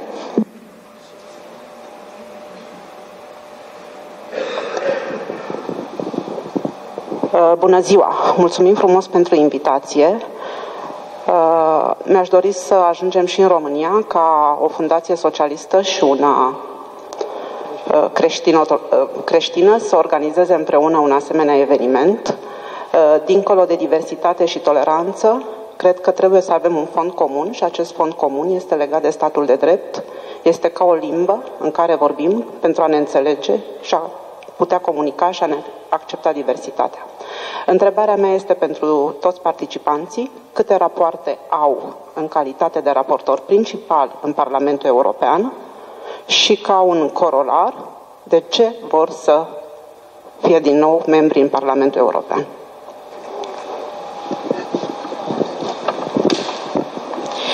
Uh, pun și eu întrebarea acum sau le dăm posibilitatea să răspundă? Aș prefera după. N-am ce să fac. Uh, eu aș reveni puțin la uh, criza din 2012 uh, și la ce a generat atunci uh, um, reacția Bruxelului. Aș vrea să, să reamintesc că uh, în uh, scrisoarea sau în cele 11 puncte ale lui Baros există un punct căruia nu am văzut să îi se răspundă la modul concret sau foarte serios din partea exactă a partidelor politice din România. Și anume, um, Comisia sugera și recomanda României atunci să uh, ia măsuri astfel încât membrii partidelor politice la nivel înalt să se abțină de la orice fel de critici la adresa independenței justiției. În primul rând, aceasta ar fi o responsabilitate politică și aș vrea să vă întreb dacă nu cumva este utopic. Uh, dacă în partidele noastre, evident, în special, uh, aș începe cu domnul Ivan, dacă în PSD există undeva um, o discuție despre un mecanism de sancționare a celor care au fost aleși, a înalților reprezentanți care fac comentarii sau critică decizii ale justiției. Sau dacă nu există, dacă estimați că va exista în următorii cinci ani. Și, desigur, întrebarea este valabilă pentru uh, toată lumea. Și uh, încă o întrebare pentru, în, în special pentru doamna Macovei și domnul Preda, pentru că știu că dânsii sunt mai tranșanți pe tema MCV. Dacă uh, recentul uh, mecanism de alertă timpurie anunțat de Comisia Europeană în martie, credeți că este suficient? Uh, credeți că este eficient? Sau că este nevoie de o modificare a tratatelor, de o reformă a articolului 7? Mulțumesc mult!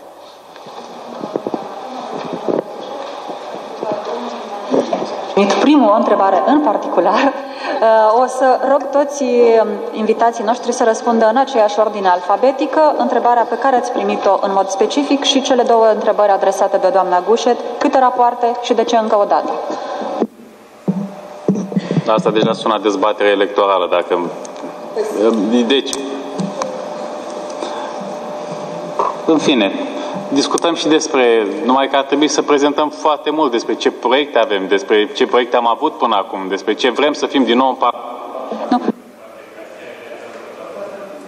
Astăzi, astăzi acum, despre, despre rapoartele din Parlamentul European, ar trebui să știți că, de exemplu, eu sunt raportor pe descărcarea bugetară a Parlamentului. Este un, raportor, un raport mare, complex, care și are o dezbatere vie pe acest raport astăzi.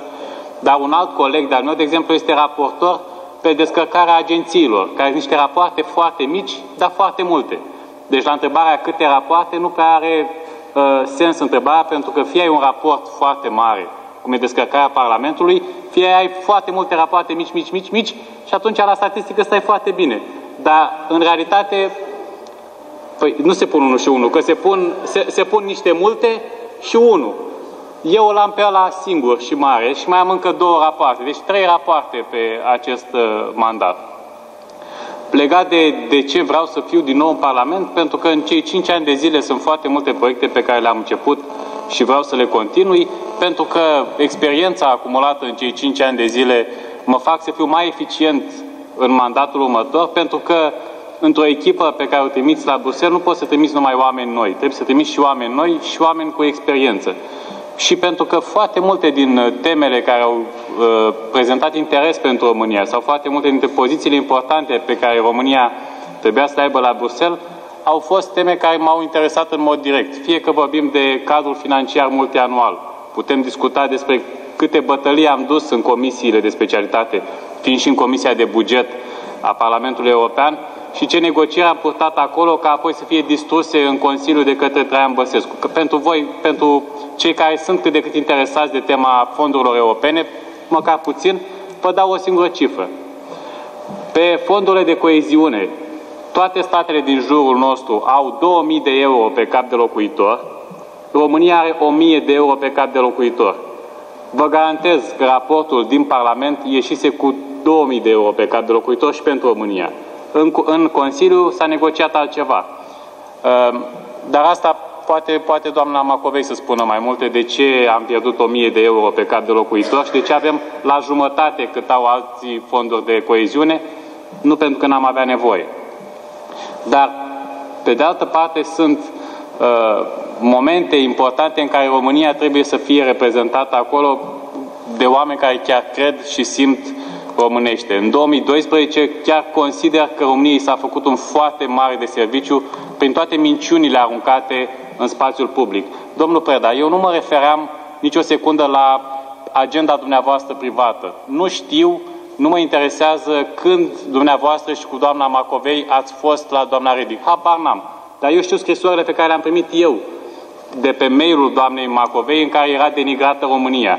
Eu știu declarațiile din plenul Parlamentului European care sunt publice și pe care oricine le poate accesa, unde se mințea că în România au fost aproape 2 milioane de voturi fraudate la referendum. Astea sunt lucruri care fac rău României, pentru că cei care sunt la Bruxelles nu au timp să citească presa din România sau să informeze doar despre România. Pentru că ei au țările lor pe care le reprezintă, au alte preocupări, se bazează pe informațiile pe care noi le dăm acolo. Noi suntem, că vrem, că nu vrem, ambasadori ai României în Parlamentul European și la instituțiile europene. Dacă eu spun acolo că în România s-au, furat 2 milioane de voturi, sunt mulți care chiar mă vor crede. Și nu este corect față de țara pe care o reprezint. A doua întrebare, foarte pe scurt. Uh, politicienii, din, politicienii în general sunt oameni care răspund pentru declarațiile lor. Eu pot să gândesc uh, un mecanism care de fapt și există poziția partidului, dacă vă interesează, este poziția pe care o prezintă președintele partidului, pe care o prezintă purtătorul de cuvânt al partidului și poziția care apare în documentele oficiale ale partidului. Restul ce declară fiecare ales local, fie că e primar, fie că e președinte de Consiliul Județean, deputat, senator, nicăieri în lumea asta, nici noi în Parlamentul European, când luăm poziții, nu răspundem în fața grupului pentru pozițiile pe care le luăm. Suntem aleși, avem voturile pe care le-am primit și avem dreptul să spunem absolut tot uh, ce credem. Sunt sancționați de opinia publică, sunt sancționați de cei care i-au votat. Noi putem să ne dezicem de declarațiile lor, este maxim ce putem să facem.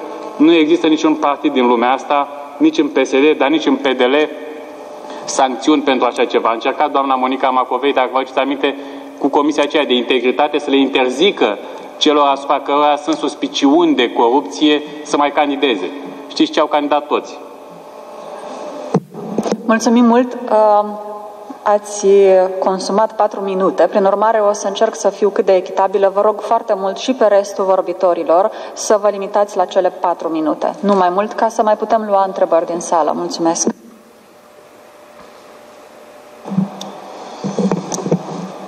Da, eu voi răspunde la întrebări spre deosebire de colegul meu uh, de la PSD. Uh, prima întrebare...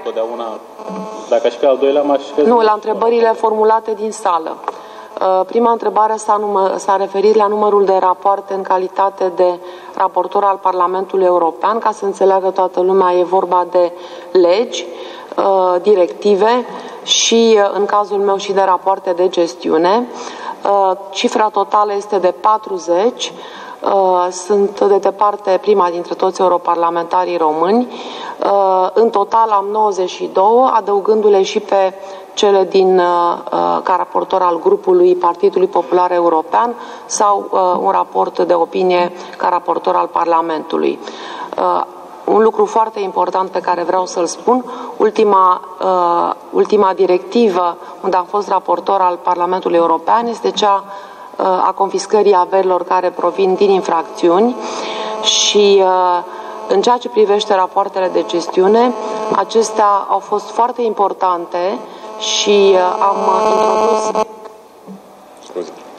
în premieră în, în Parlamentul European și în procedura descărcării de gestiune uh, conflictul de interese ca un criteriu pentru descărcarea de gestiune a agențiilor europene, pentru că am constatat că din companiile care cereau, de exemplu, aviz pentru un produs alimentar de la Agenția Europeană de Siguranță Alimentelor, lucra la această agenție tocmai cineva de la acea companie.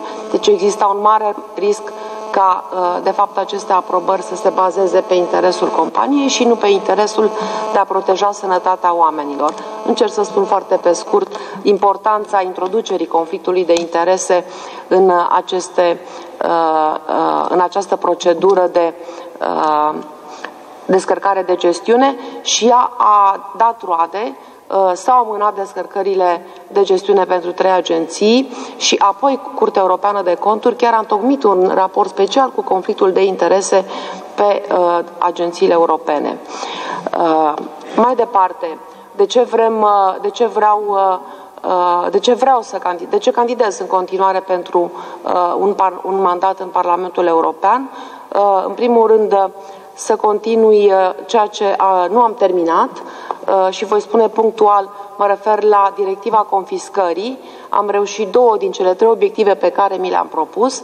Am reușit uh, confiscarea extinsă în cazuri uh, mult mai multe decât prevede legea română și cât mai multe sunt, sunt utile, pentru că, așa cum am spus, trebuie să mergem să luăm banii celor care comit infracțiuni, averile lor, dincolo de pedepsa cu închisoarea.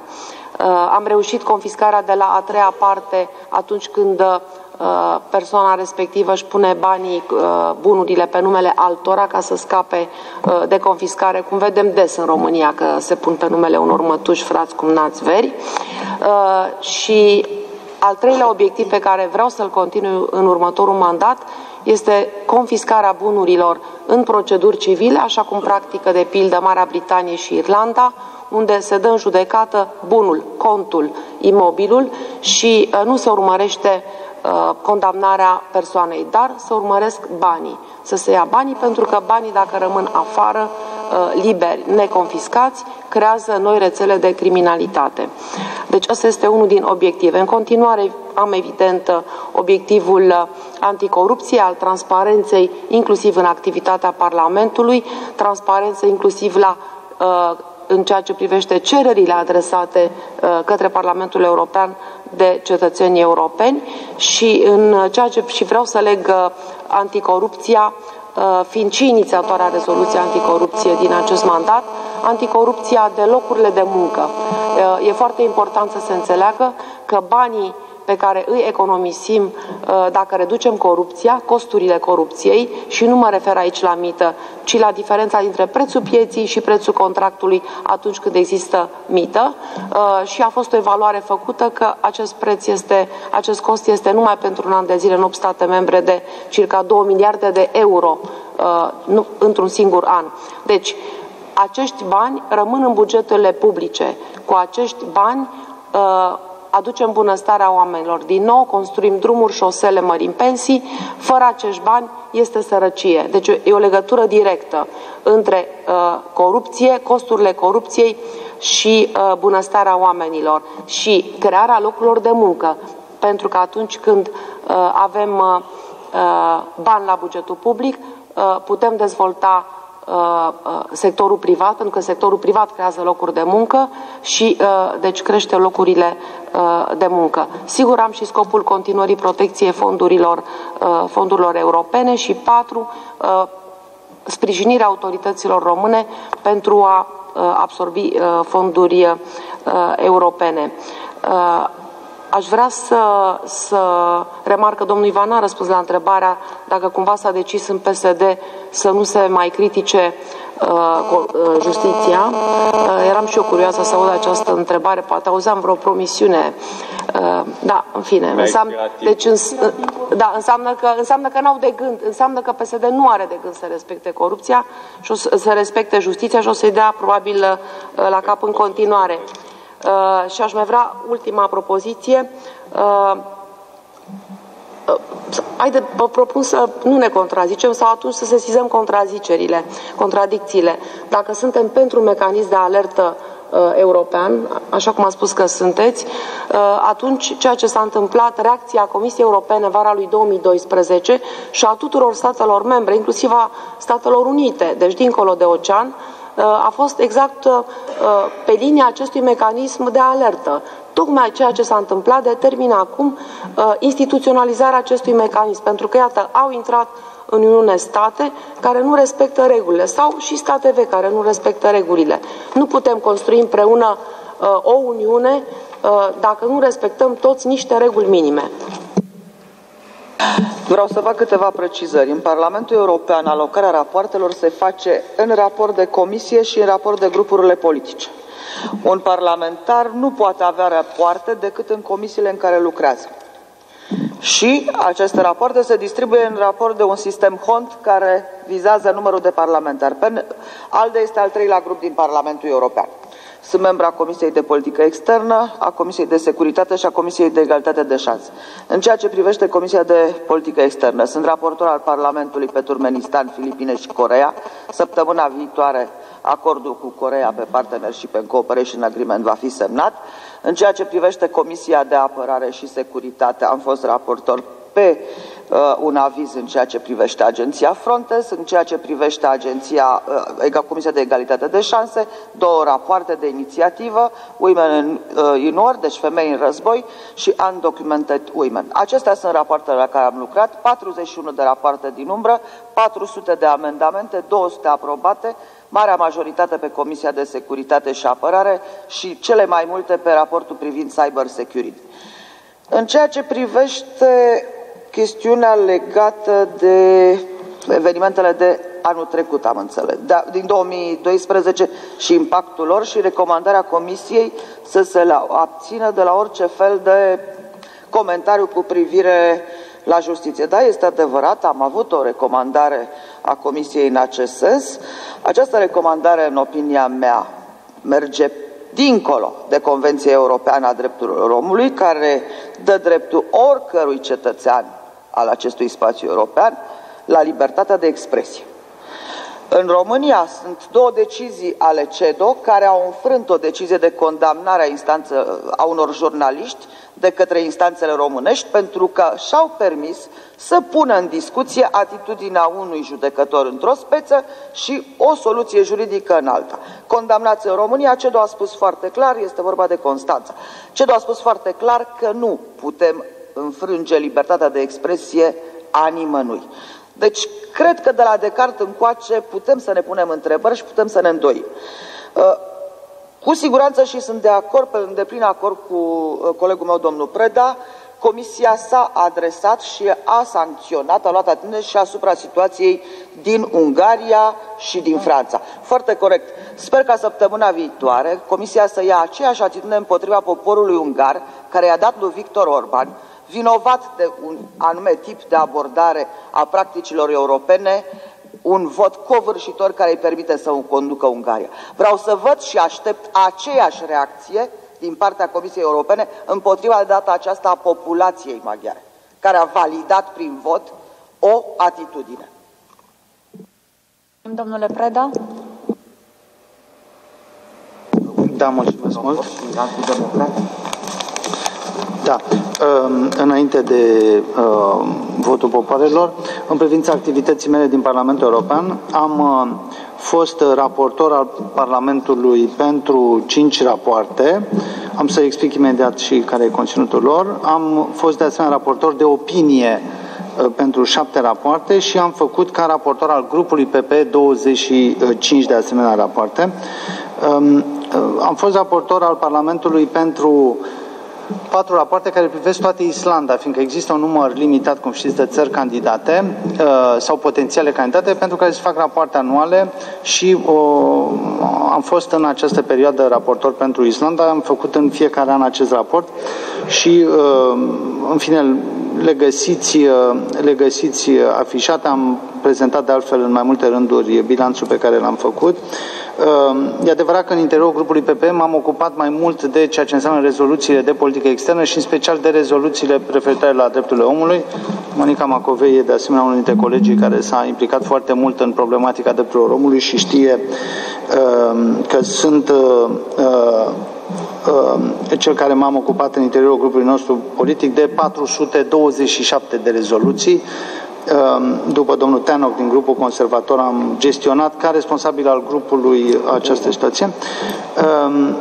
Ehm, și o bună parte dintre ele le-am uh, negociat. Acum, cred că, într-adevăr, e bine să se discute despre activitatea din Parlamentul European în această dimensiune, evident, uh, cantitativă, care e relevantă pentru angajamentul fiecare acolo și, uh, de asemenea, în termen de uh, influență, nu știu dacă mai e domnul Franțescu aici, dar ei au o reflexie deja angajată pe, acest, uh, pe această temă, uh, pornind de la școala lui Simon Hicks uh, din Marea Britanie.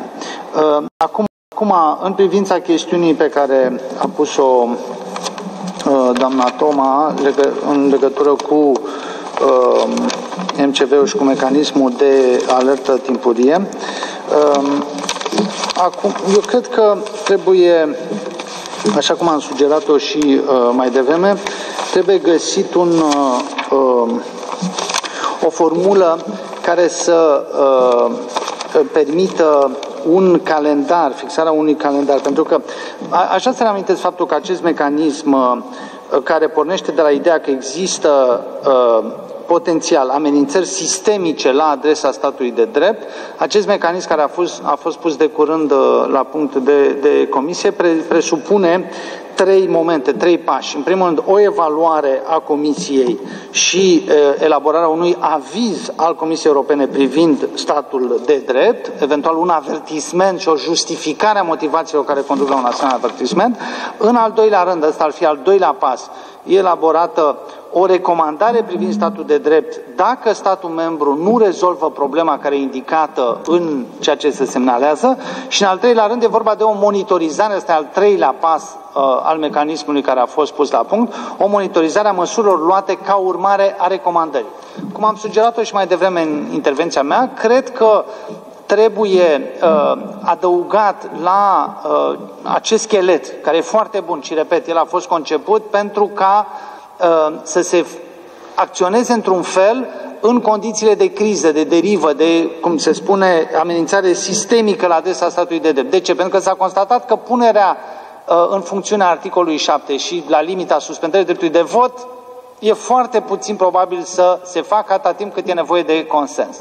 Și atunci s-a găsit acest mecanism de alertă timpurie. În opinia mea, el trebuie completat cu un calendar foarte restrictiv pentru Comisie și pentru statul membru. Cu alte cuvinte, cred că pentru fiecare din etape, că e vorba de evaluare, că e vorba de recomandări, că e vorba de monitorizare, trebuie indicat un calendar foarte precis, adică în trei săptămâni faci recomandarea, în alte două săptămâni spui cum, înțelegeți, pentru că altfel s-ar putea să intrăm într-un, dacă se petrece o criză, să intrăm într-un tip de negociere între Comisie și statul membru care să producă uh, o prelungire a crizei pur și simplu pentru că nu există constrângeri de timp.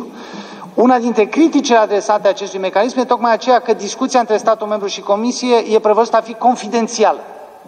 Și de aici, uh, odată în plus, pledoaria mea pentru un calendar foarte riguros, care să fie respectat, insist, și de către Comisie și de statul membru. Ori asta se uh, poate face. Uh, în fine, uh, apropo de chestiunea denigrării țării, uh, pare rău că trebuie să îi dau din nou replică domnului Ivan, nu cred că a fost vreodată denigrată România atunci când s-a vorbit despre ce se întâmplă, a fost într-adevăr denigrată Uniunea Social-Liberală. Dar a confunda România cu o alianță politică, îmi pare rău, nu se poate. Doar înainte de 89 partidul era și țara. Acum sunt mai multe partide și cred că o critică politică, fie ea și uh, nedreaptă sau uh, Uh, cum să spun, uh, poate aici colo de amendat. Nu este un atac la adresa țării și aș vrea să ieșim din această cultură a suspiciunii absolute a celuilalt. Uh, apropo de ce spunea doamna Nicolae, iarăși nu suntem de acord. Nu cereți Comisiei să se pronunțe asupra votului și asupra popoarelor. Comisia nu se pro- pronunță asupra votului și asupra popoarelor, fiindcă nu e o chestiune de democrație care e judecată. Și nu trebuie confundată democrația și statul de drept. Nu cereți Comisiei să facă un lucru pe care, uh, pe care uh, nu are de ce să-l facă. Nu? Comisia s-a pronunțat și salut faptul că ați reamintit și de uh, chestiunea Sarkozy și de chestiunea Orban. Comisia s-a pronunțat atunci când au existat îngrijorări referitoare la stat de drept și la drepturi fundamentale. Nu cereți acum Comisiei să uh, uh, uh, analizeze voturi sau uh, Eh, adică eh, ieșim din eh, cadrul dezbaterii. Vă mulțumesc pentru atenție. Sa... Nu pot, nu pot, am avut 3-4 minute, am folosit doar 3, dați-mi voie. Eu nu știu cât am folosit. Este o chestiune de ironie, dacă vreți. N-am cerut în niciun caz Comisiei să analizeze Așa un proces electoral, dar am cerut Comisiei să se gândească că un popor a legitimat un anume tip de atitudine contrară standardelor europene. Bun, vă mulțumim. Uh, uh, totuși trebuie să uh, dăm cuvântul și celor din sală care ne-au ascultat cu multă răbdare. Rugămintea este să vă prezentați scurt atunci când și întrebările să fie cât mai concise cu putință. Nu știu, să începem din stânga, am văzut acolo pe cineva. Mulțumesc! Mă numesc Ursula Fernolen și lucrez pentru o firmă de consultanță care se ocupă cu riscuri de integritate pentru investitori în România și uh, Moldova.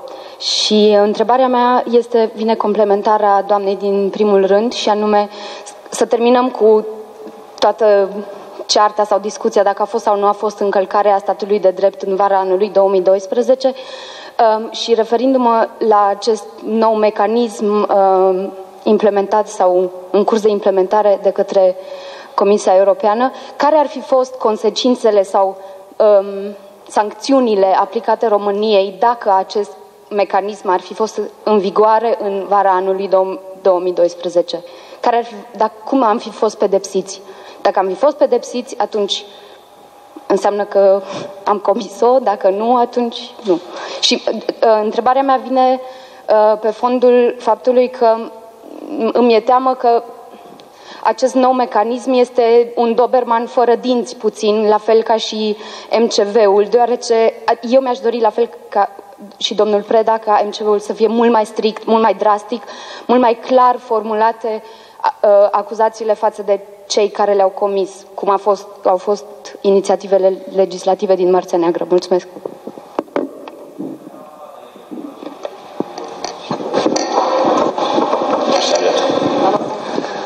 Uh, scurt, o întrebare uh, unificatoare încerc. Marian Trușcă mă numesc.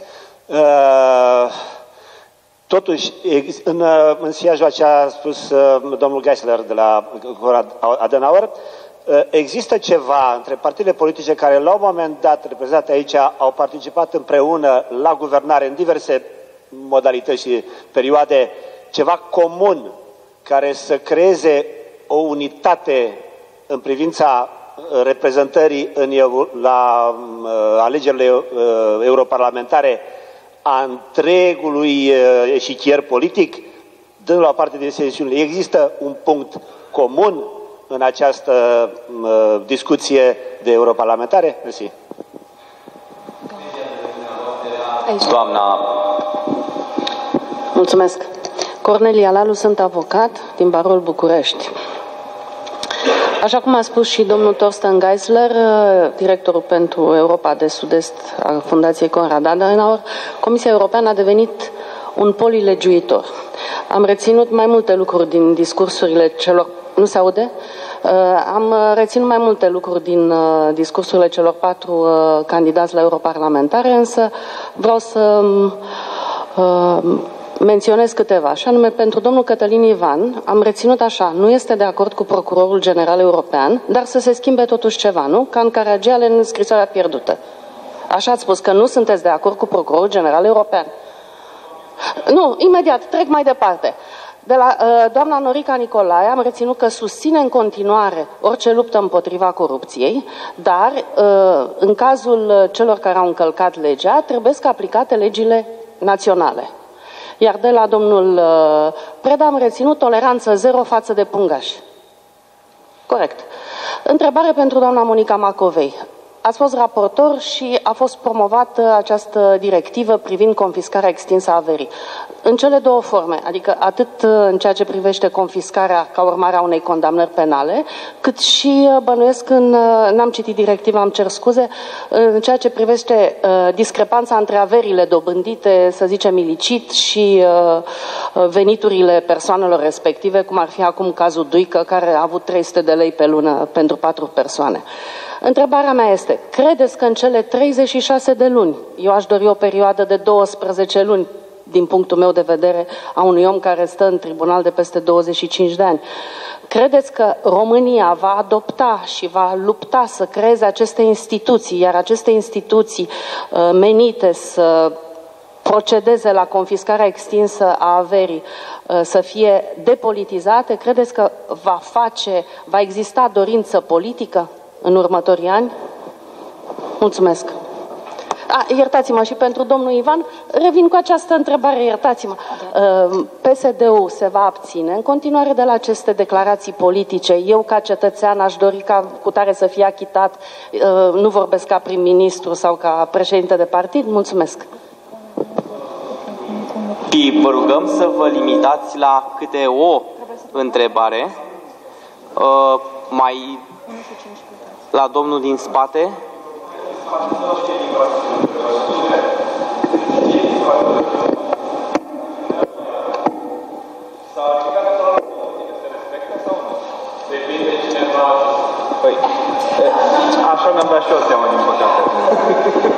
Se poate?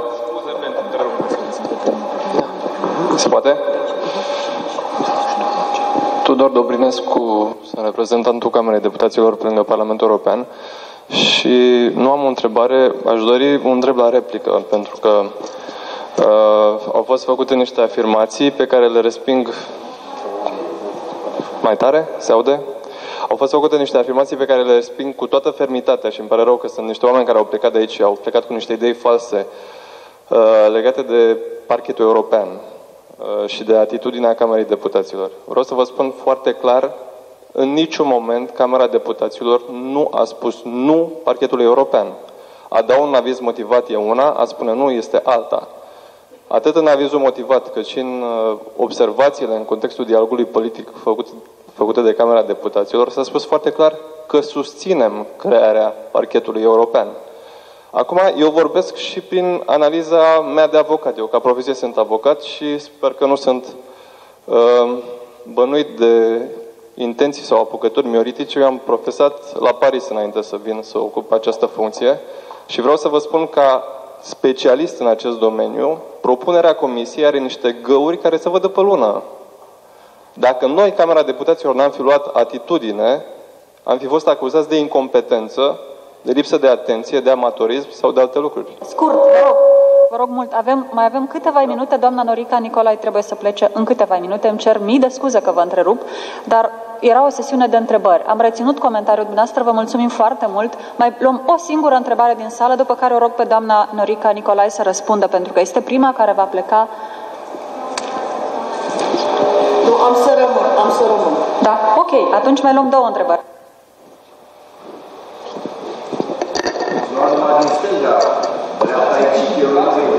Eu n-am întrebat.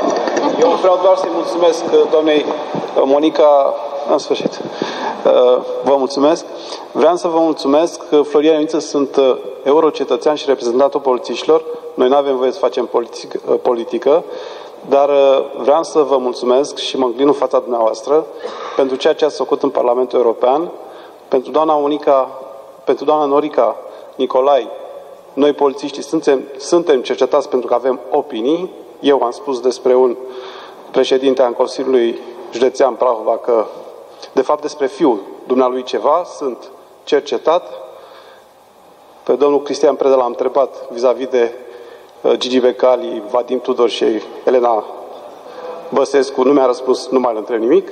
Pe domnul Cătălin Ivan, uh, cred că sunteți puțin cam arogant. Îmi cer scuze că mi-am permis să mă exprim liber. Dar cele două decizii, ale ce două poate mă absolv.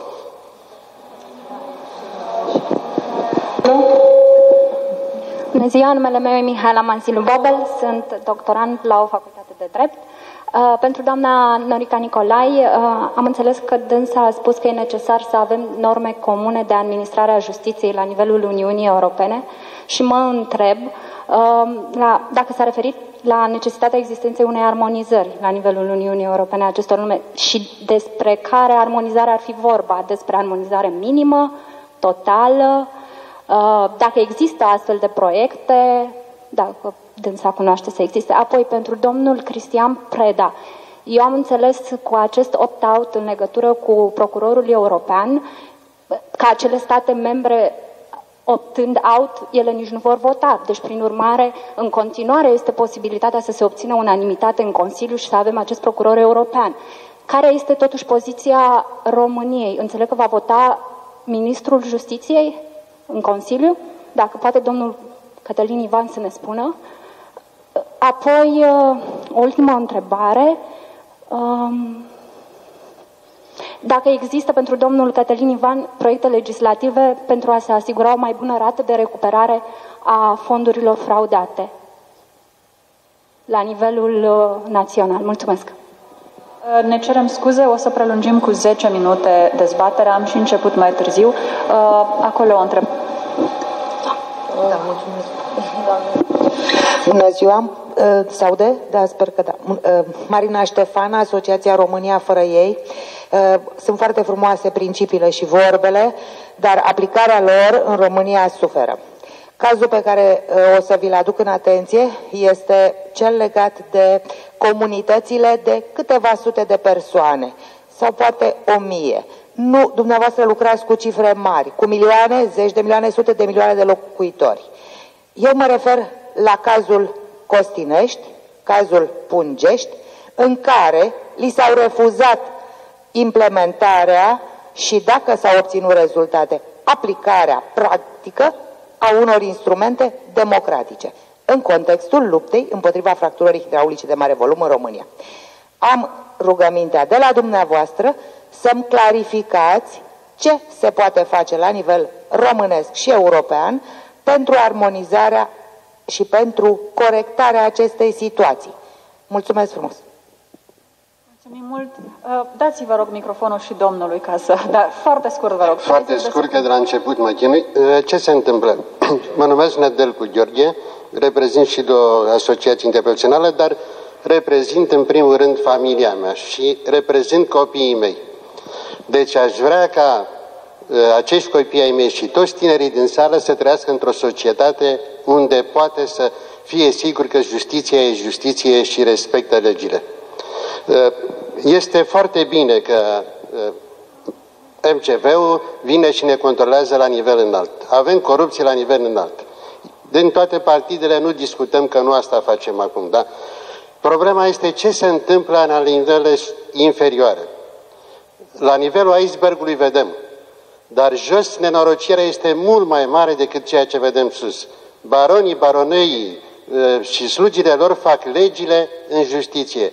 Atât la cei care fac investigațiile, mă refer la poliție, procuratură, cât și în instanțele de judecată. Dumneavoastră, aveți voci puternice în partidele pe care le reprezentați. Puteți să faceți ceva în sensul ăsta? Mulțumim foarte mult. Uh, răspundem, uh, începem cu domnul. Vroiam să adaug și... De la început încerc să vorbesc. Scurt, scurt. Scurt. Eugen Cincu mă numesc. Uh, în panelul de deschidere s-a vorbit despre euroscepticism. Participarea la alegerile europarlamentare după un vot de 7,5 milioane aruncat la coș cu ajutorul Comisiei Europene, cred că în România creează o mare problemă. Uh, dezbaterile uh, între politicieni uh, nu se referă de fapt la obiective europene, ci la politica internă. De aceea aș vrea să știu dacă există o opinie a europarlamentarilor referitori la Roșia Montană și gazele de șist, de aceea, deoarece ne putem aștepta ca europarlamentarii români să susțină menținerea ecologică a spațiului României, având în vedere faptul că țara am primit-o cu împrumut de la nepoții noștri și de la urmașii urmașilor noștri. Majestatea sa, regele Mihai. Vă mulțumim și acum, ca să rămânem totuși cât de cât în marjă, vă rugăm două, maxim trei minute ca un fel de statement final în care să încercați să preluați cât mai mult din uh, ce s-a întrebat din sală. Mulțumim anticipat. Eu vreau să mulțumesc susținătorilor doamnei Monica Macovei prezenți azi în sală. Au venit cu temele făcute, cu întrebări care se ridice. Uh, da, sunt invidios pentru că eu nu sunt obișnuit pe eu, eu, la, eu la Revoluție avea, eram clasa a 5 deci cu astfel de o mecanisme de a pregăti dezbaterile publice nu sunt obișnuit.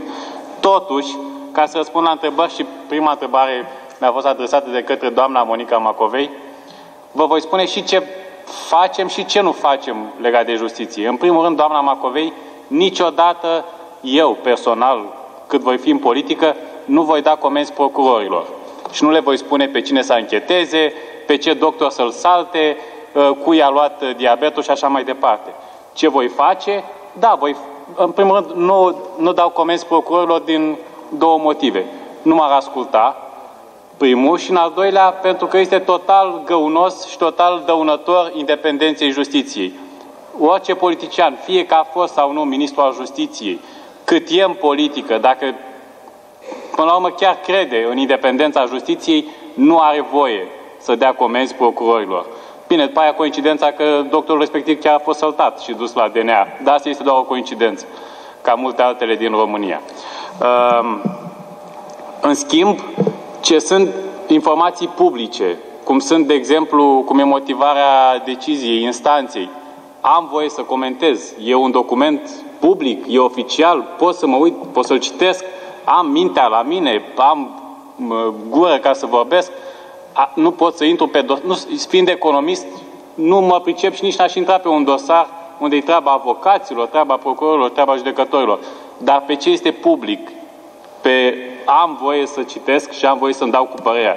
Dacă scrie acolo că nu există probe nici directe, nici indirecte, pot și eu să spun că în cazul respectiv nu există probe nici directe, nici indirecte, dacă judecătorii care au analizat dosarul spun asta. Eu îi cred. Bănuiesc că n-au scris uh, alții uh, decât cei care au judecat. Deci asta am să fac în continuare cu voia sau cu nevoia unora sau altora. Sunt uh, documente oficiale. Uh, legat de aroganță nu mi s-a mai spus de mult, dar vă mulțumesc că mi-ați atras atenția, o să fiu mai atent, dar și dumneavoastră ați avut o rezervă, puțin cam arogant. Deci vă mulțumesc, nu sunt chiar arogant, sunt așa doar puțin. Uh, aș fi vrut să-l ascult mai mult pe domnul avocat din spate, pentru că am spus și în prima mea intervenție, nu sunt de meserie și nu știu dacă soluția cea mai bună este cea a procurorului general, așa cum a prezentat-o comi uh, european, mă scuzați, mulțumesc doamna Macovei, procuror european, european așa cum a prezentat-o comisia. Dar cred în principiul în sine că avem nevoie de un mecanism mai puternic, inclusiv la nivel european, care să se lupte cu frauda în utilizarea banilor publice, a banilor europeni. Care este soluția? Dacă e asta, dacă e alta, dacă este soluția asta cu mici ajustări, e altă discuție și nu sunt eu în măsură să port această discuție. Recuperarea fondurilor uh, fraudate. Aici este legat de prima temă, de cea cu procurorul uh, european, pentru că este important să găsești vinovatul, dar este important, pe de o parte, statul să dea bani înapoi Uniunii Europene, ceea ce se întâmplă de fiecare dată, dar și prejudiciul să fie recuperat, pentru că altfel înseamnă o nouă gaură în, buget, în buzunarul nostru al fiecăruia. Deci, cum vor lucra instituțiile europene și instituțiile naționale pentru ca frauda să fie cât mai mică, hoți există peste tot. Uh, fiind în Comisia de Control Bugetar, vă spun că și în Germania se fraudează fondurile europene. Diferența este că în Germania rata de recuperare a prejudiciului este de peste 90%, în România este de până la 20-25%. Asta este diferența, nu că nu se fură. Acolo cei care fură sunt prinși și și dau bani înapoi. La noi nu se întâmplă asta. Nu știu, mai erau foarte multe alte subiecte, dar uh, la cea cu Roșia Montană. Am fost și sunt unul dintre susținători, am votat și în Parlamentul European o rezoluție împotriva exploatării cu, uh, uh, cu cianuri. Noi, cei din grupul PSD, cu liberalii, am susținut Uh, această rezoluție în Parlamentul European și a trecut cu majoritate. Și atunci eram împotriva proiectului Roșia Montană, sunt în continuare împotriva acestui proiect și voi fi în continuare pentru că sunt foarte multe neclarități și pentru mine nu este în acest moment foarte clar care este interesul companiei respective acolo, până la urmă ce urmăresc în mod real, dacă sunt respectate condițiile de mediu, într-adevăr, Chiar și acum, de curând, ministrul uh, mediului a ezitat să dea uh, o poziție oficială pe uh, exploatarea de la Roșia Montană. De asta am fost pentru dezbaterea în Parlament, pentru că am așteptat ca dezbaterea din Parlament să dea răspunsurile concrete, să vină specialiști care să spună dacă e bună sau dacă nu e bună. În acest moment, eu sunt total împotriva exploatării Roșia Montană. Mulțumim, doamna Macovei, vă rog frumos. O să răspundă doamna Macovei sau altcineva, sau doamna Norica Nicolai. De regulă merg mână în mână. Da, regret că domnul Ivan nu poate discuta chestiuni europene și ne întoarcem acasă. Sunt de acord cu observația făcută de uh, unul din uh, cei care au venit astăzi să ne asculte și să ne pună întrebări că era preferabil să discutăm chestiuni europene. Uh, acum uh, uh, va trebui și eu să spun niște lucruri legate de ce se întâmplă în România, dar evident că ele au consecințe europene, pentru că nu mai trăim înăuntru în România și restul lumii e separată, nu trăim cu toții în același spațiu, inclusiv spațiu de, în care informațiile circulă în, în timp real. Uh, 1. Uh, În ceea ce privește poziția la, să încep cu asta, Roșia Montana, eu din 2010 sunt împotriva exploatării cu cianuri, deci pentru Alburnus Maior și împotriva uh, uh, Roșia Montana Gold Corporation. Acum, însă am văzut și eu, uh, nu pot să nu sesizez minciuna adresată românilor. Adică în campanie USL a spus nu vom face, vom interzice total Roșia Montana gazele de șist și cum au ajuns la guvernare au făcut exact invers. Uh, doi, uh, apropo de independența justiției, uh, comisiile date procurorilor și judecătorilor din 2005 încoace sunt date numai acum de către Ponta, care spune uh, în dosarul Bolintineanu de ce sunt anchetați uh, uh, cei de acolo care erau suspectați de mite la bacalaureat și ne interesează un învățământ corect.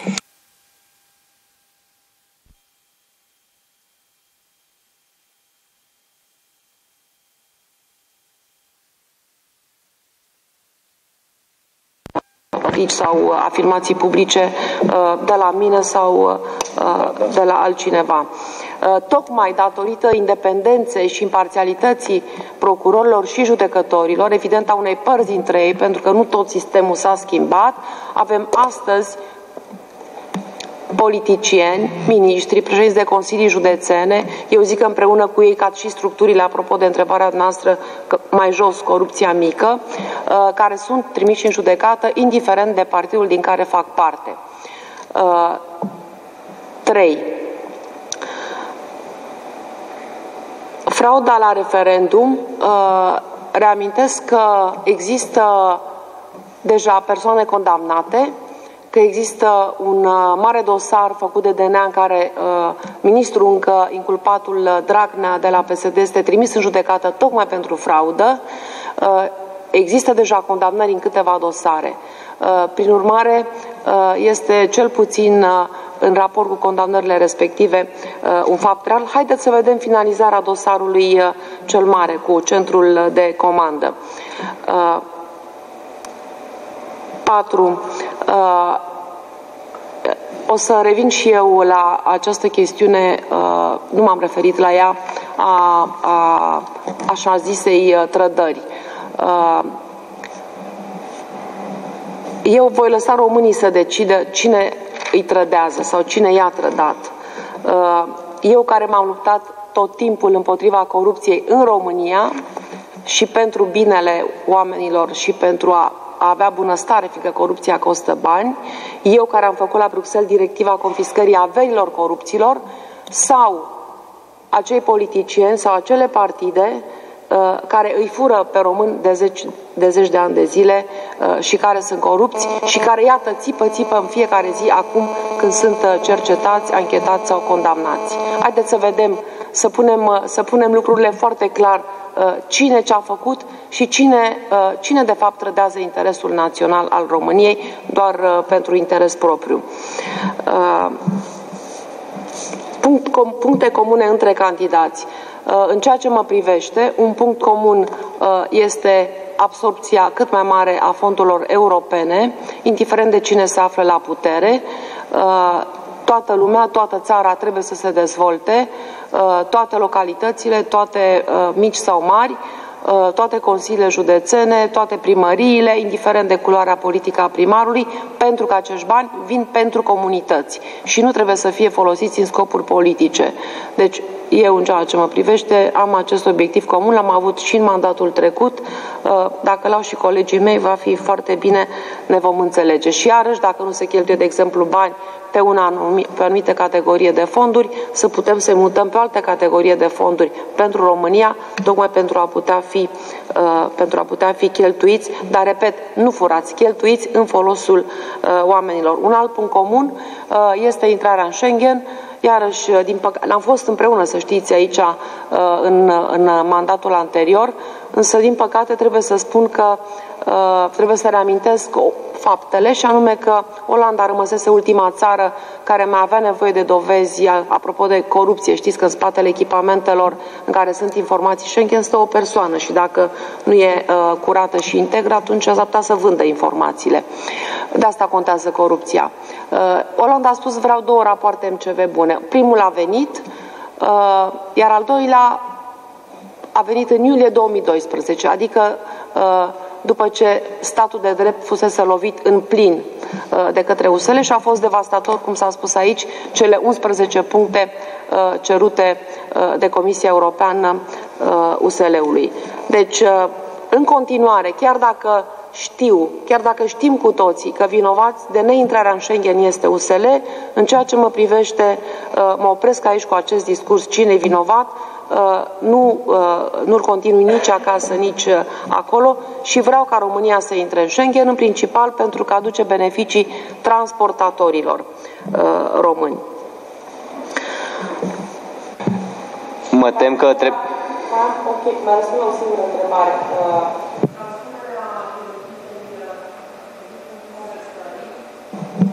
transpunerea directivei confiscării uh, ca să, ca să uh, uh, lămurim lucrurile clare, o directivă are de regulă 2 ani de zile, perioadă maximă, în care statele membre trebuie să o transpună în legislația națională.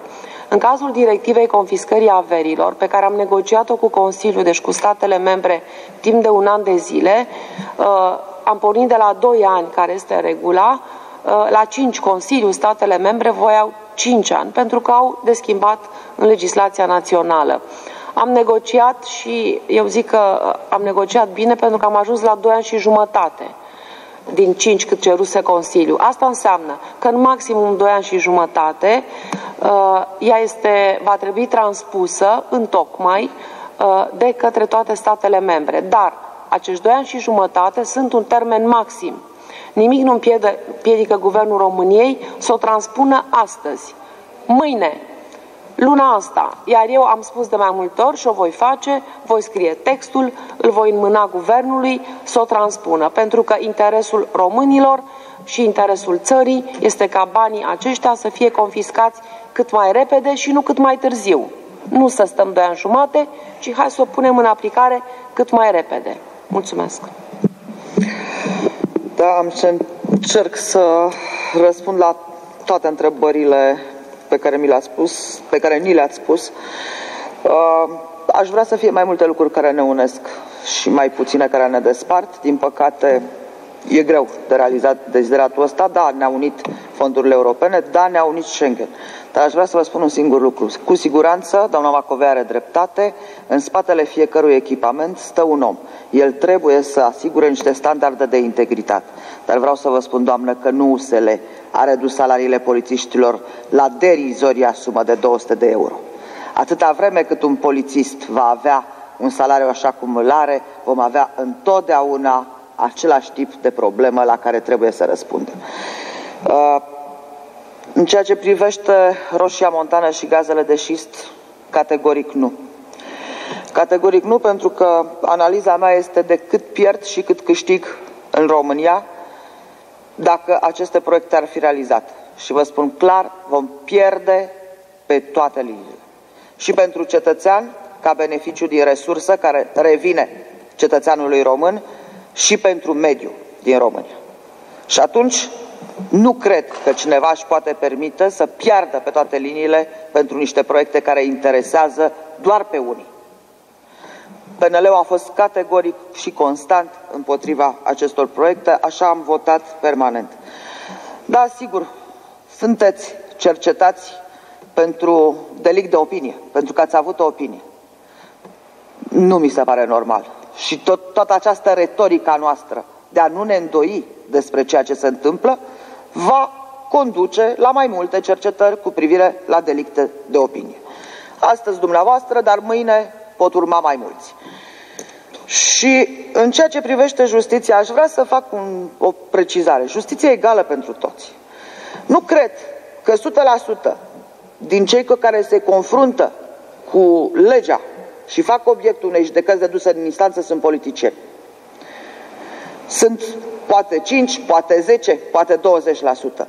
Dar eu mă întreb la justiția pentru cei 80% care nu au acces la ea, pentru care justiția este scumpă, pentru care justiția este nedreaptă, pentru care nu se pune atunci când există o hotărâre judecătorească în aplicare, s-a gândit cineva? Nu este vorba despre părți. Este vorba și de statutul judecătorilor. Dacă sunt atât de multe sentințe incorrecte, atât de multe erori judiciare, poate ar trebui să ne gândim ce facem cu cei care administrează justiția. Cine sunt ei? Eu pot să cred că baron, nebaron, oameni politici pot influența un anumit grup de procurori și de judecători. Dar acest grup nu judecă și orice litigiu din o judecătorie mică din țară unde se administrează dreptatea. Deci cred că va trebui să încercăm să găsim o soluție de resursă umană independentă față de numirile politice, care sunt, doamnelor și domnilor. Poate ar trebui să ne gândim la alt mod de administrare a justiției și la selecția judecătorilor și a procurorilor, altfel decât acum. Cu siguranță am primit mai multe întrebări. N-am să mai răspund decât la una singură, aceea cu privire la referendum. Nu mă pronunț pe dosare aflate în curs.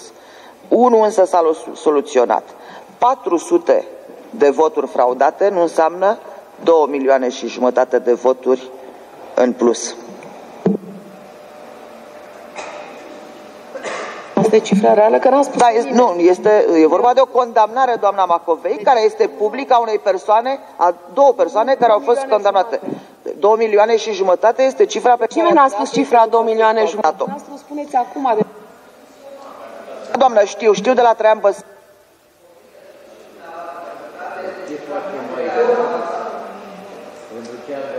Domnul Preda. Domnul Da, mulțumesc. Aș vrea să mai uh, spun 10 secunde un lucru. Uh, un lucru care trebuie să ne unească este Republica Moldova și îmi pare rău că n-am vorbit mai mult despre acest lucru.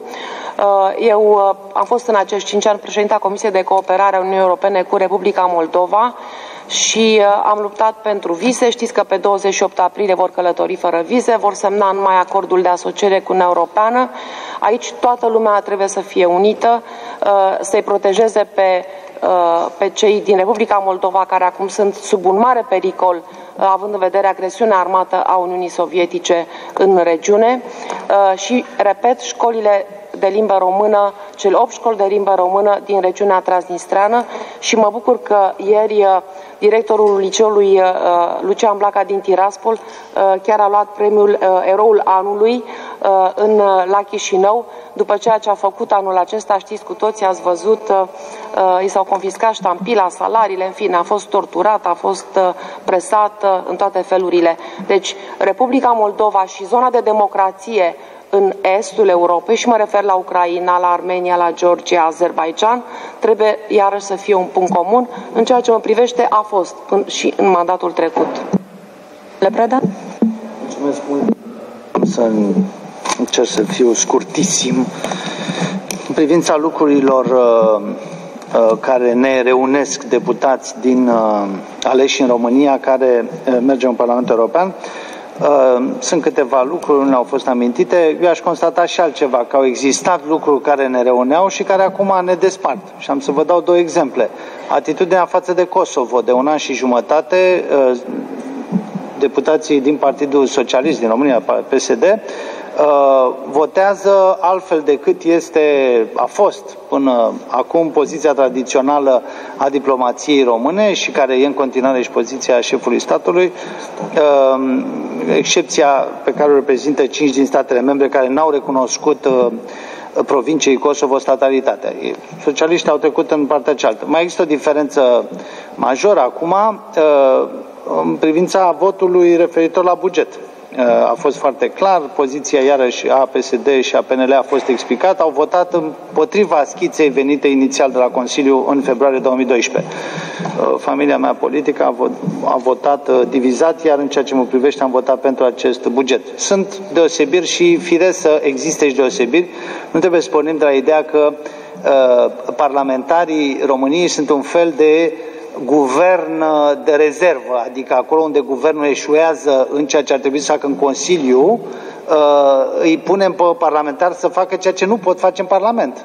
Uh, deci, aici sigur că e foarte multă demagogie și mult populism în discursul candidaților și al aleșilor în Parlamentul European, care tind să construiască o imagine a deputatului care e de fapt ceea ce ar trebui să fie ministru în Consiliu. Eu, în fine, am spus întotdeauna că nu trebuie să-i mințim pe oameni. În privința chestiunii confiscării extinse, Aș vrea nu doar să o felicit pe colega mea, Monica Macovei, pentru uh, ceea ce a făcut în această privință, un lucru remarcabil, dar aș vrea să spun că susțin uh, punctul de vedere pe care l-a exprimat uh, Adinaur și anume acela de a face o presiune asupra Guvernului României, indiferent care va fi, pentru ca uh, directiva să fie pusă în uh, aplicare, în funcțiune, în execuție cât mai rapid. În privința uh, chestiunii uh, pe care a pus-o Uh, domnul, îmi cer scuze, dar n-am putut să rețin numele pentru că se aude prost. Uh, uh, da, dumneavoastră, referitor la Becali și la... Nu, numele dumneavoastră nu l-am reținut, ci domnul Dorian Ioniță, da, domnul Dorian Ioniță. Florian. Florian Ioniță, îmi cer scuze, dar acustica nu e cea mai bună.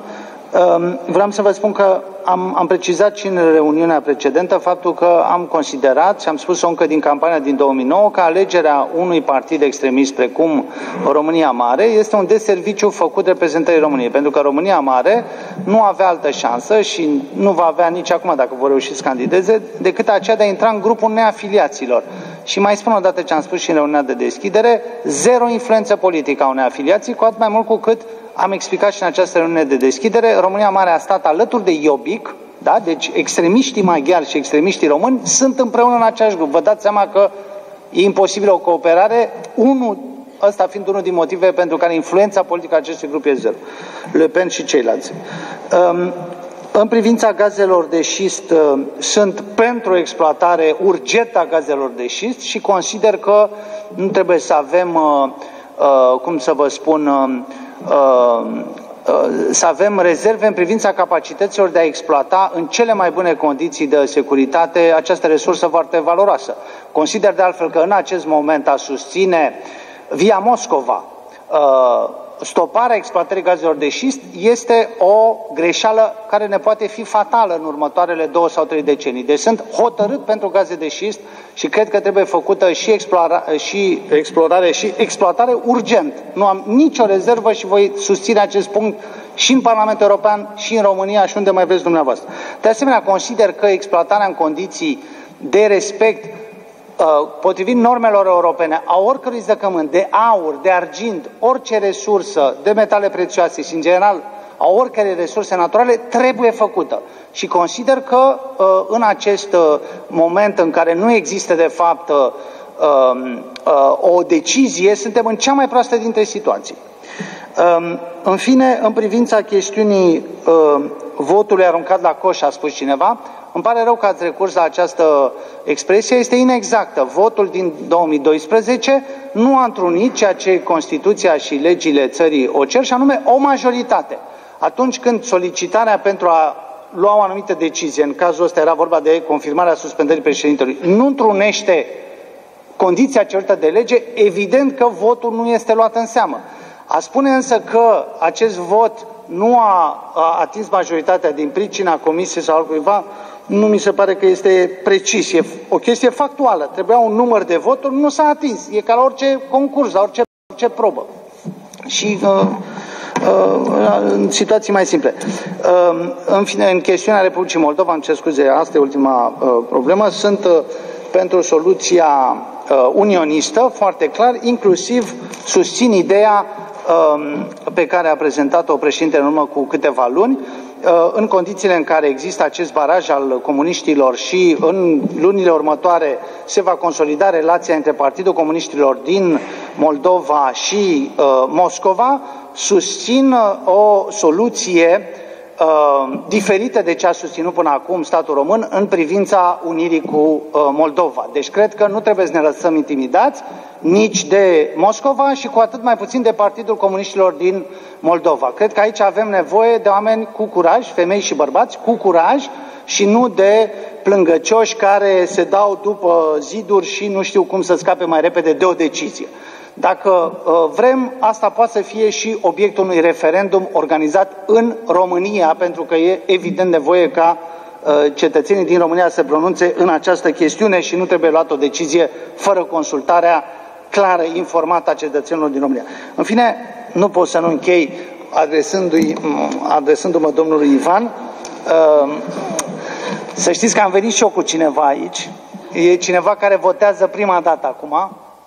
E fica mea care a făcut de curând 18 ani și uh, vreau să spun că pentru generație Asta vreau să uh, salut și eu tinerii care acum uh, votează prima dată, care poate votează acum a doua oară sau uh, a treia oară, pentru că din nefericire clasa de vârstă 18-25 de ani votează în mică măsură, nu doar la europene.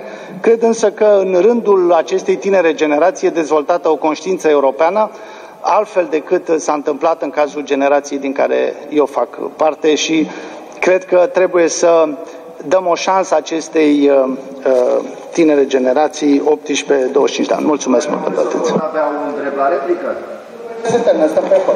Pe hol, la cafea, la prânz, se răcește mâncarea. Da, uh, observația a fost foarte pertinentă, se răcește mâncarea, astfel încât este momentul să le mulțumim uh, candidaților pentru